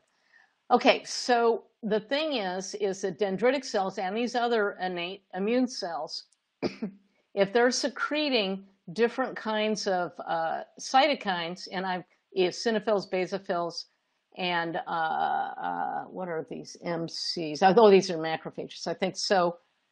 No, they're not. Mast cells. Okay, eosinophils, basophils, and anyway, they will then force the T cell to become a Th2 cell. So that, again, the T cell gets activated. It's naive. It doesn't know what it wants to do.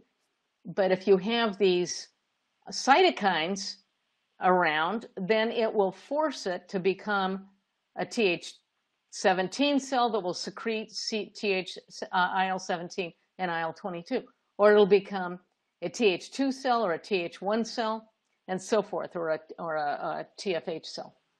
So all this up here is happening in the lymph node, right? In the lymph node, when the naive T cell is first being trained to become, it, it already knows that it's a CD4 cell or a CD8 cell. But if it's a CD4 cell, it doesn't know what it's supposed to become. It's called a null cell. And now it's going to become something else. And this is an induced uh, T regulatory cell.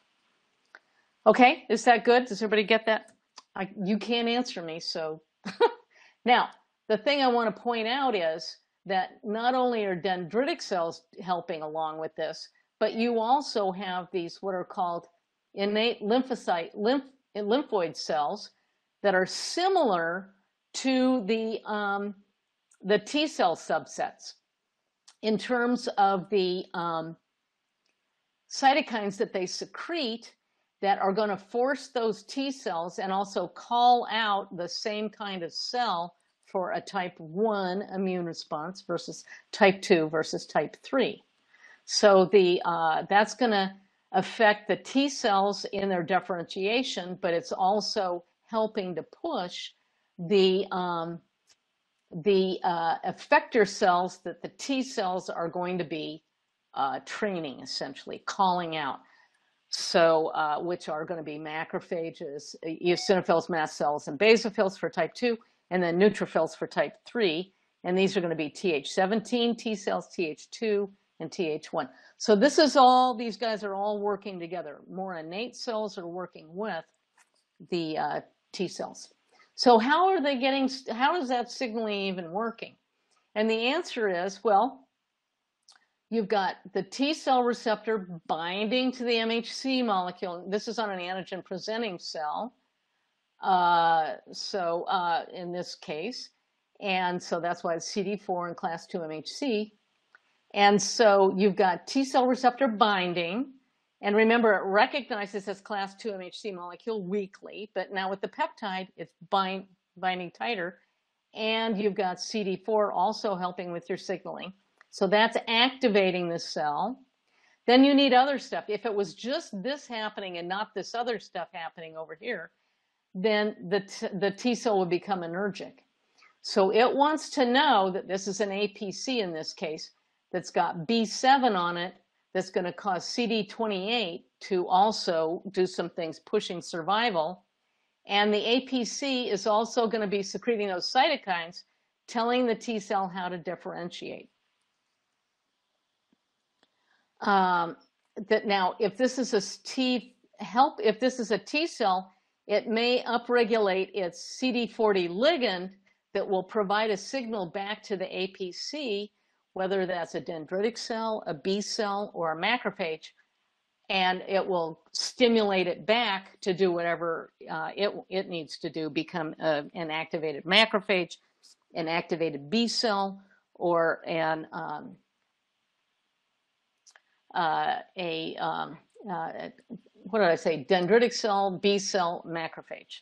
So, so this is kind of then the uh, flow, whether it's an antibody on the surface of a B cell or a T cell receptor, uh, where you've got kind of the flow of uh, changes that result in transcription of things such as cytoskeletal changes, adhesion molecules, changing metabolism of the cell because it's getting activated, and turning on things like cytokine genes and so forth. So I'm not going to go through all this, but this is just these complicated signaling pathways.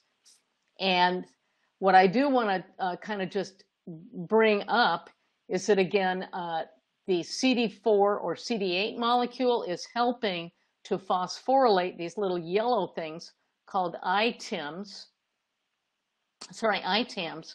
So these are uh, immune receptor uh, activating molecules. So they get phos- they get phosphorylated by Lck and Fyn, and then this kind of master regulator guy, ZAP second 70, can hang on to that and, and get the whole thing going, where you have um, uh, NFAT being, you know, transcription factor, NF kappa B, and AP1 transcription factors all working together to push the transcription going. But you also need to have CD28 stimulation, and all this can get inhibited by CTLA4, which also can bind to these B7 molecules on, um, on antigen presenting cells. So this is, for instance, would be uh, uh, a, um, uh, a uh, the, the, the three signals again, the T cell receptor, the secondary signaling, and then uh, uh, then uh, then also uh, the uh, you don't see it, but there's also cytokines affecting this cell, telling it what to differentiate into. Now there's inhibitory signaling as well that I just mentioned, and those have what we call ITIMs on them, which are immune uh, immune receptor. Um, uh, uh, inhibitory signaling molecules. And in this case, It's it's the SHP and uh, SHP and SHIP phosphatases that are going to dephosphorylate everything that got phosphorylated in that signaling pathway. It's going to knock it back by virtue of getting rid of this the phosphorylation that, for instance, uh, ZAP70 has set up. Okay, and these are some more uh, uh, inhibitory molecules on B cells. You've got Fc gamma R2b that has an ITIM. Uh, and uh, for instance, PD1, I'm sure you've heard of, ITIMs and so forth. Uh, and these are the two phosphatases. One is doing the, phos the uh, phosphorylated tyrosine, knocking off the, phos the phosphate groups from that. Or you could have inositol phosphate, uh, that's phosphorylated in the inner leaflet of the uh, cell membrane getting knocked back that's going to also knock back the clustering and signaling going on uh, uh at that site. And by the way, antibodies against PDL, uh, PD1 will block PDL1 uh, from binding to PD1 and therefore it, it can't signal that way. That's a therapeutic drug. Okay, so uh, in terms of the humoral response, then uh, we have uh, um, uh, naive B cells, again, that always have IgM and IgD on their surface, and they're going to meet with antigen in the uh, in the follicle. That and the antigen is actually going to be uh, presented by um, uh, the follicular dendritic cell that's inside the follicle. And, uh, and that is going to then, um, with uh, helper cells and other uh, and antigen stimulation, anyway, it's going to become an activated B cell. It will proliferate and it will become uh, uh, you, you, will originally make short-lived plasma cells that secrete IgM, and you'll also have IgG B cells. Uh, you'll have class switching. So you'll have IgG B cells that can uh, form um, uh, plasma cells that can uh, secrete IgG, and uh, or IgA or IgE, uh, depending on what it's told to do. But you will also have this thing called affinity maturation. So B cells will pick up mutations in just the region that encodes the light and heavy chain variable regions. And so that will diversify those B cells that have been activated by antigen. And then what will happen is uh, you will actually have selection happening in the germinal center for the higher affinity B cells. And that means the low affinity guys drop out and only the high affinity clones, many of which that have antibody uh, that have somatic mutations to make those antibodies bind a little better, uh, they will uh, they will be selected, and that's how you get these high affinity uh, antibody responses. But they're driven by T follicular helper cells because it's happening in a germinal center reaction. So the way B cells see antigen is uh, that they can antigen can come in uh, of different sizes, either through these weird little conduits that go straight into the follicle and, uh, and follicular dendritic cells pick it up, or you can have these kind of macrophages that are uh, just on the surface of the tissue of the lymph, of the lymph node. They'll scuttle on over and transfer the antigen of these guys, or dendritic cells can do that as well. So follicular dendritic cells get loaded with antigen and when B cells come out of the circulation, they are attracted to the follicle and they start filling these guys up for um, antigen. And where a B cell actually binds, it gets activated and so forth. Uh, and this is just a little more about follicular dendritic cells. So um, I think, because I've got five minutes left, I will stop there uh, and uh, take any further questions.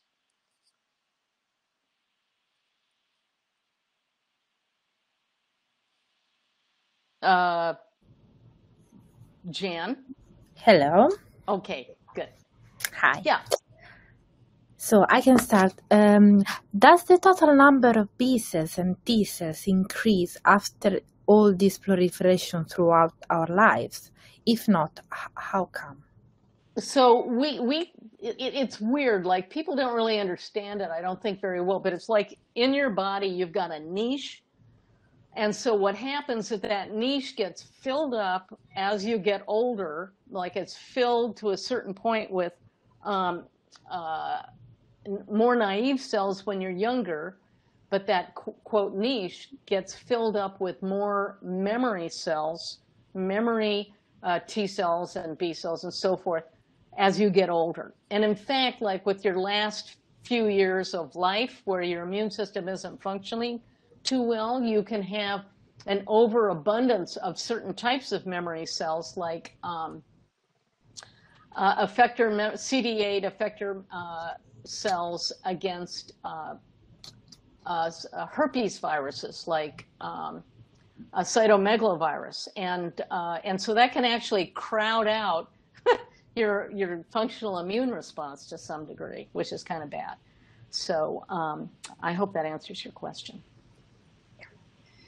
Next question. Oh, actually, before I ask that next question, I want to assure anybody who may need to scamper off right at one o'clock that I will let you know that when the on-demand version is ready, we will continue ans answering questions, but Dr. Scott will supply a Q&A document that will be posted on the website. So no worries if you do have to run off. You will not miss any content because we will run after you and hunt you down and make sure you have it. Next question. How is self-antigen expressed in the bone marrow to check for BCR self-reactivity? Uh, well, you've just got antigens uh, there, so uh, so uh, anything that's binding in your uh, bone, uh, in the mature B cells, but then I didn't tell you this part because it's more complicated the uh, what are going to become your classical follicular B cells and your marginal zone B cells. They actually move to your uh, spleen, and they uh, as quote transitional cells. So they're not not fully they're not fully mature yet. They mature uh, in your lymphoid secondary lymphoid tissues, and they're actually seeing a lot of antigen there too. Uh, and so uh, so as a result because they've circulated and all this other stuff, they can get deleted or become anergic at that point as well. So there's a lot of self-antigen around, right? Okay, I'm done with that question. Good. So uh, do we have time for the last question? Sure. Yes, just yeah. keep on going. How does the self-antigen binding works? Is there expression of every single self-epitope expressed somewhere? Uh, it's the same general mechanism of binding, but uh, there's a lot of different variations on it depending on, there are multiple levels of uh, uh central tolerance that's happening in the bone marrow and the uh, beginning of the secondary lymphoid tissue for B cells and in the thymus for T cells versus peripheral tolerance that's happening a million different ways uh, in, in, the, in the periphery. So that's in the lymphoid organs and elsewhere. So um, yeah, so I can't answer that question because it's too complicated to answer in a simple way. Next question. Can we say that MHC1 and TCR recognize the same peptide but bind to different epitopes? Follow. Uh, well, the anchor residues are really not called epitopes, but yes, that's what's happening. The, and the and the secondary question is will their binding affinity differ significantly so the idea of TCR T can also apply to MHCT uh, that I, I, I'm not enough of a T cell expert to tell you, but I can just tell you that you've got to have a significant jump in affinity in order to activate the cells. And uh, there's all kinds of work that's done on T cells low affinity versus higher affinity uh, interactions and how T cells respond to that. There's a whole literature on that. So I'm going to stay away from that. Um, so, is the process of differentiating from naive lymphocyte precursor pool to mature lymphocytes only occurring during development, childhood, or does it occur throughout life? Sorry, I didn't understand the first part of what you were saying there. Could you say it again? So, is the process of differentiating from naive lymphocyte precursor pool to mature lymphocytes only occurring during development, uh, childhood, or does it occur? No, this it's life? happening. Yeah, it's happening all the time. As long as you're putting out naive T cells, they're maturing in the periphery. You know, they're uh, recognizing things and and and uh, becoming, uh, you know, different T cell subsets in in the uh, in the uh, in the periphery. So that's happening all the time. But as you get old, you have fewer naive cells. Therefore, you've got more memory cells, and they're kind of getting hogging whatever antigen is there. So the T, the naive cells, they get a chance, but if you already have a memory response, that's going to come in and proliferate more and expand more and so forth. Plus, you don't have very good thymus anymore. So the T cell, the naive compartment is is continually expanding as well, you know, because it has to. Okay. Yeah. Next question. Do CD8 T cells need CD28 co-stimulation for activation of cytotoxicity? Uh, they need it to begin with. So again, when they're naive CD8 cells, they react with the dendritic cell the exact same way that a CD4 cell does. But then afterwards, they do not need it. All they need is class 1 MHC uh, uh, having the right peptide in it, and they can kill that cell. And they can do it in about 20 minutes' time. Okay. Um, how are self-reactive lymphocytes identified and eliminated when exposed to a limited variety of self-antigens in the bone marrow? How does the body know they're self-reactive? This okay, is well, well, to slide seven. Uh, the um, B cells, uh, where they see self-reactivity, they can actually rearrange new light chain genes, trying to, it's called receptor editing and they'll do that uh, to uh, change their specificity so they don't die. So I think they bind to a lot of things in the bone marrow. When it comes to T cells, there's actually a transcription factor in some of those uh, epithelial cells, or I think it's in the epithelial cells. It might be, yeah, it's in the medullary epithelial cells, and it's called AIRE. It's different. It's AIRE, not AIRR. And what it does is that it just at random turns on all these genes in the genome, one, you know, here and there, uh, to upregulate and process onto, onto MHC, class one and class two, uh, all these different things that might not be in the thymus. And as a result, it expands. If you get rid of AIRE, you have autoimmune, you have much more autoimmune disease. Like, so they know that AIRE is important for some of the negative selection that happens in the thymus. I mean, that I can answer you, yeah. But I think B cells are more plastic, and I think when they get out in the periphery, there's a lot of different ways to knock back a B cell's reactivity. Yeah. Next question. We have about half a dozen, just to give you some idea of where we are. The next question, you're very popular, Jamie. You did an excellent job explaining all of that, but it was a lot of content. And yeah. Uh, so it's great to see these, these questions. How does complement recognize pathogens promiscuously versus the selectivity uh, that antibodies have? Well, okay, so uh, if an IgM binds to something, because remember that's got like six, five or six, depending on if it has a J chain or not, five or six, uh, it's huge.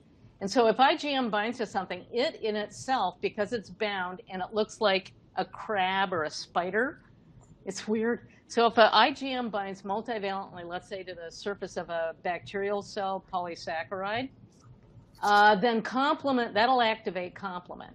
Complement can also be activated uh, a bunch of other different ways. And when complement gets activated, it creates this stuff called C3b, B is in boy. And that has a reactive group that if it's anywhere near a, a carbohydrate or a protein, it will bind to it co covalently.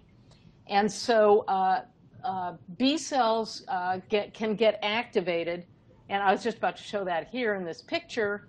Uh, so uh, C3, uh, that should say B. Um, anyway, C3b is bound, uh, but I, get, I, think they're saying it gets cleaved down, and then it's recognized by this complement receptor. So that can actually push, help to stimulate an antibody response. So complement is very good at as, as a co-stimulator for B cell responses, but complement also uh, can um, uh, there's there's a whole lectin pathway for complement activation that I'm not going to get into. And what lectins are is uh, uh, molecules that look a lot like an IgM, and they bind to carbohydrates, uh, again, like cell wall polysaccharide, and they activate complement kind of in the same way that IgM does. So there's, uh, and there's other things called pentraxins and stuff like that. So if you look at that list of um, soluble uh, innate uh, immune uh, molecules. Uh, back in you know chapter one, you'll see as some of those guys, a bunch of them, activate complement on their own by just recognizing. Um, and then you also have the alternative pathway that uh, basically normal cells have uh, on their surface different things that inactivate complement. So that's why your cells don't typically don't get blown up by complement but bacterial cells don't. So as a result, C3b is getting activated all the time, and it can bind to the surface of a microbe because it doesn't have anything to prevent it from binding. And as a result, you can build up complement complexes on the microbe that, that actually lyse it. And so uh, that's another uh, pathway. So I hope you're tired of hearing about complement now. Good. Um, this question is about antibodies against conformational epitopes. How can they be generated from short linear MHC peptides? They're not. They're not. No, the answer is they're not. B yeah. cells, uh, antibody, B cells ha uh, have uh, antibody on their surface, and that antibody binds to the surface of things. So just think surface it has to bind to the surface. And that's why conformational epitopes on proteins are typically what, uh, what antibodies are against. They're not against like a loop that's sticking out or something that you can kind of recreate with the peptide. Uh, that happens somewhat, but typically that peptide is only binding to a subfraction of what the antibody originally, uh, what the antibody would normally bind to. So when people go, oh, I've got a peptide and it looks just like the epitope. No, it's just binding to that antibody. It's cross-reacting with it. But its footprint is probably a lot different than the footprint that an antibody would have against the original protein. So, uh, and peptides, uh, you may be conflating peptides uh, for MHC uh, that are in the same uh, protein and that would be in, uh, in, an, in an antigen presenting cell or uh, that, uh, that is taking up the antigen, breaking it down, and uh, putting that same protein antigen, but different parts of it, onto its class 2 MHC molecule.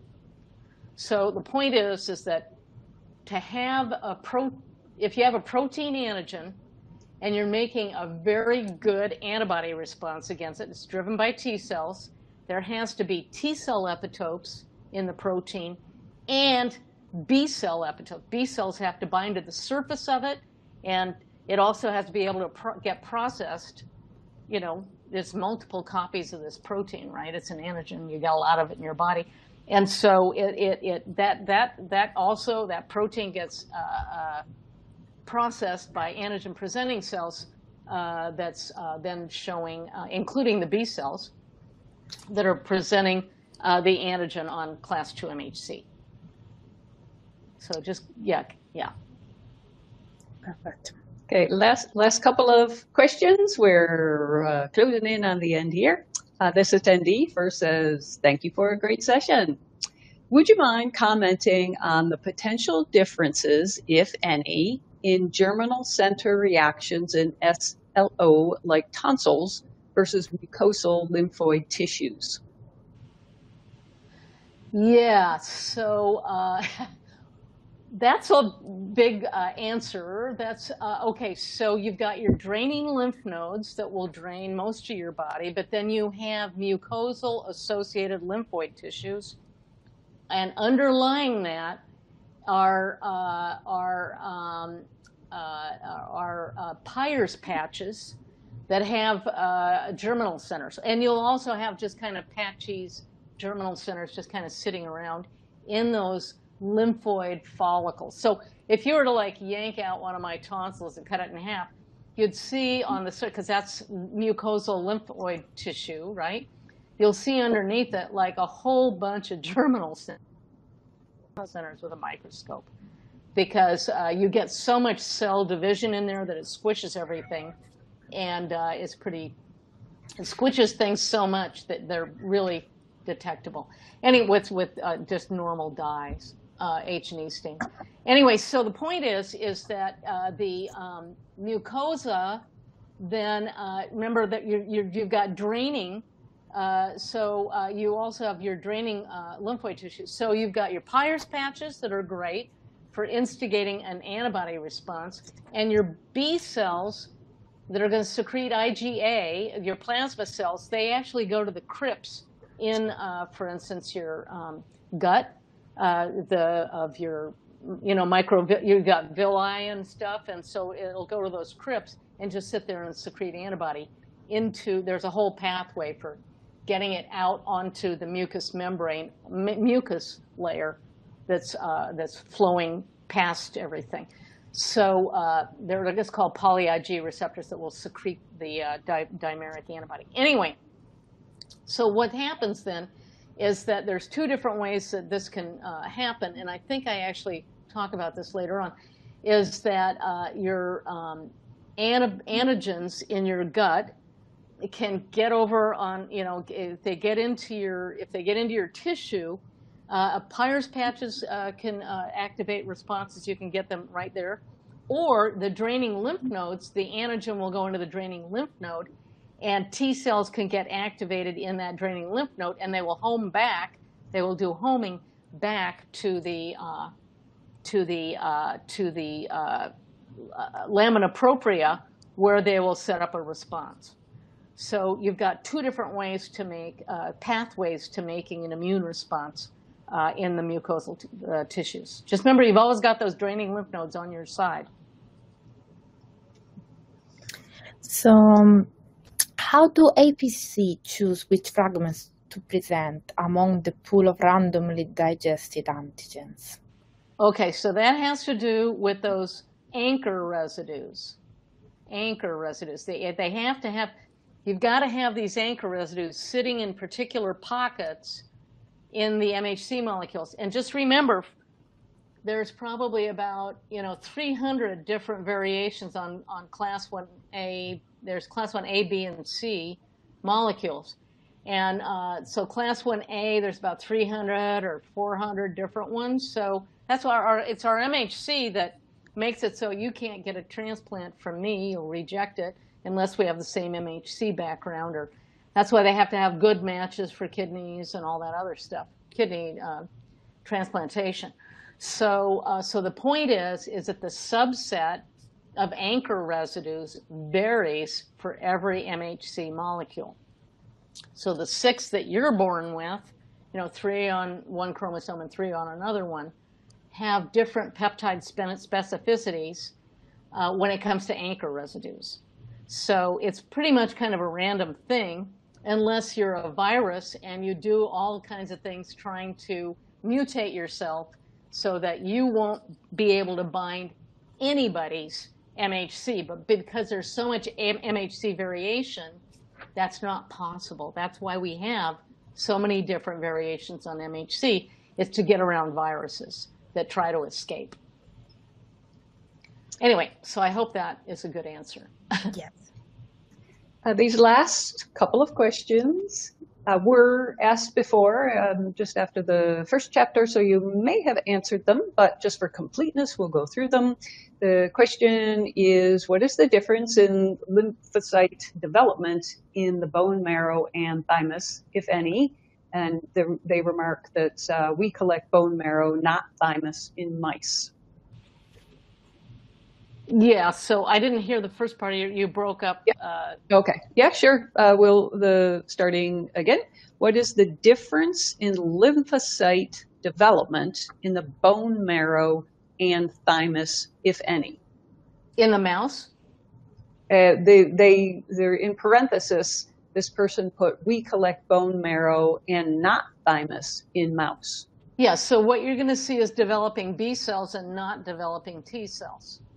And so what people will do, for instance, is that they'll take B cells and they've got particular markers on them when they have uh, rearranged their heavy chain but not their light chain. So they haven't gone through any selection. And they'll go, okay, uh, how often do we use this germline gene? Because the placement of the germline genes and the stuff around it on the chromosome dictates how often a particular germline gene is used. And so they'll just sequence those guys. Well, you can't do that with T cells. You'd have to yank out the thymus to do that because in order to get a T cell that's only rearranged its beta chain but not its alpha chain, so no selection has acted on it yet, uh, you'd have to go into the thymus to get it. That's my answer. yeah. And the last question, can CD8 positive cells can be activated without CD4 positive or independently can be activated in response to virus infected cells? No, they can't. They, uh, they, they, uh, there's a difference though. It, okay, so you've got a naive CD8 cell. It's never seen anything. And now it binds to a dendritic cell that's got CD28 and some other stuff on it because you need all three levels of signaling. You need, you need co-signaling, you need, uh, you need IL-2 at the very least, uh, cytokines. So you need signal one, signal two, and signal three to get a CD8 cell activated so it will differentiate into an effector, uh, an effector CD8 cell where it will home to the periphery and kill whatever is infected. Once it is decided who it is and it is homing, it will, uh, now it's a differentiated CD8 cytotoxic T cell, and it's upregulated all its killing apparatus and everything. So it can then go, uh, and all it needs is, is the right peptide on class 1 MHC. That's all it needs to kill the cell. And why? Well, because you don't want to have a, you know, you want to just kill all the infected cells. So you don't want, you know, co-stimulation or anything like that. Okay, so you just got to think about the initial dendritic cell getting that cytotoxic T cell going with all the signaling and everything. And the reason why you have all those layers of signaling is you don't want to just make a bunch of cytotoxic T cells that go out and kill everything because you're going to have a hell of an autoimmune disease. So that's why you want to have make sure that you're doing the right thing and then sending that puppy out there uh, to do the damage that's going to be very selective. Perfect. Okay. Thank you very much. Well, that's it. That's all the questions and uh, all the fantastic content from Dr. Scott for today, at least.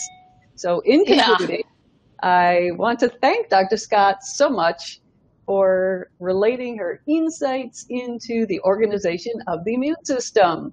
Please do join us on June 15th for the next part, uh, also at 11 o'clock Eastern Time. The second part is the immune system in action. You do not want to miss that. Well, plus I'll finish, I'll finish this too. I'll finish okay. this too. I have a few more slides here, just a few. Okay. Uh, but the uh, agenda that hopefully you downloaded from the the um, tab in the viewer. Uh, so the same agenda that you don't downloaded for this webinar also includes the agenda for part two. Finally, thank you very much for joining the webinar today. An on-demand version will be available in a few days. As I mentioned before, I will chase you down and make sure you have the link. It will go by email to everyone who registered. I'll also send the link to the Q&A document when that is ready. So please do feel free to watch this or any of our on-demand webinars when it's convenient. Thanks again and have a great rest of your day. Thank you.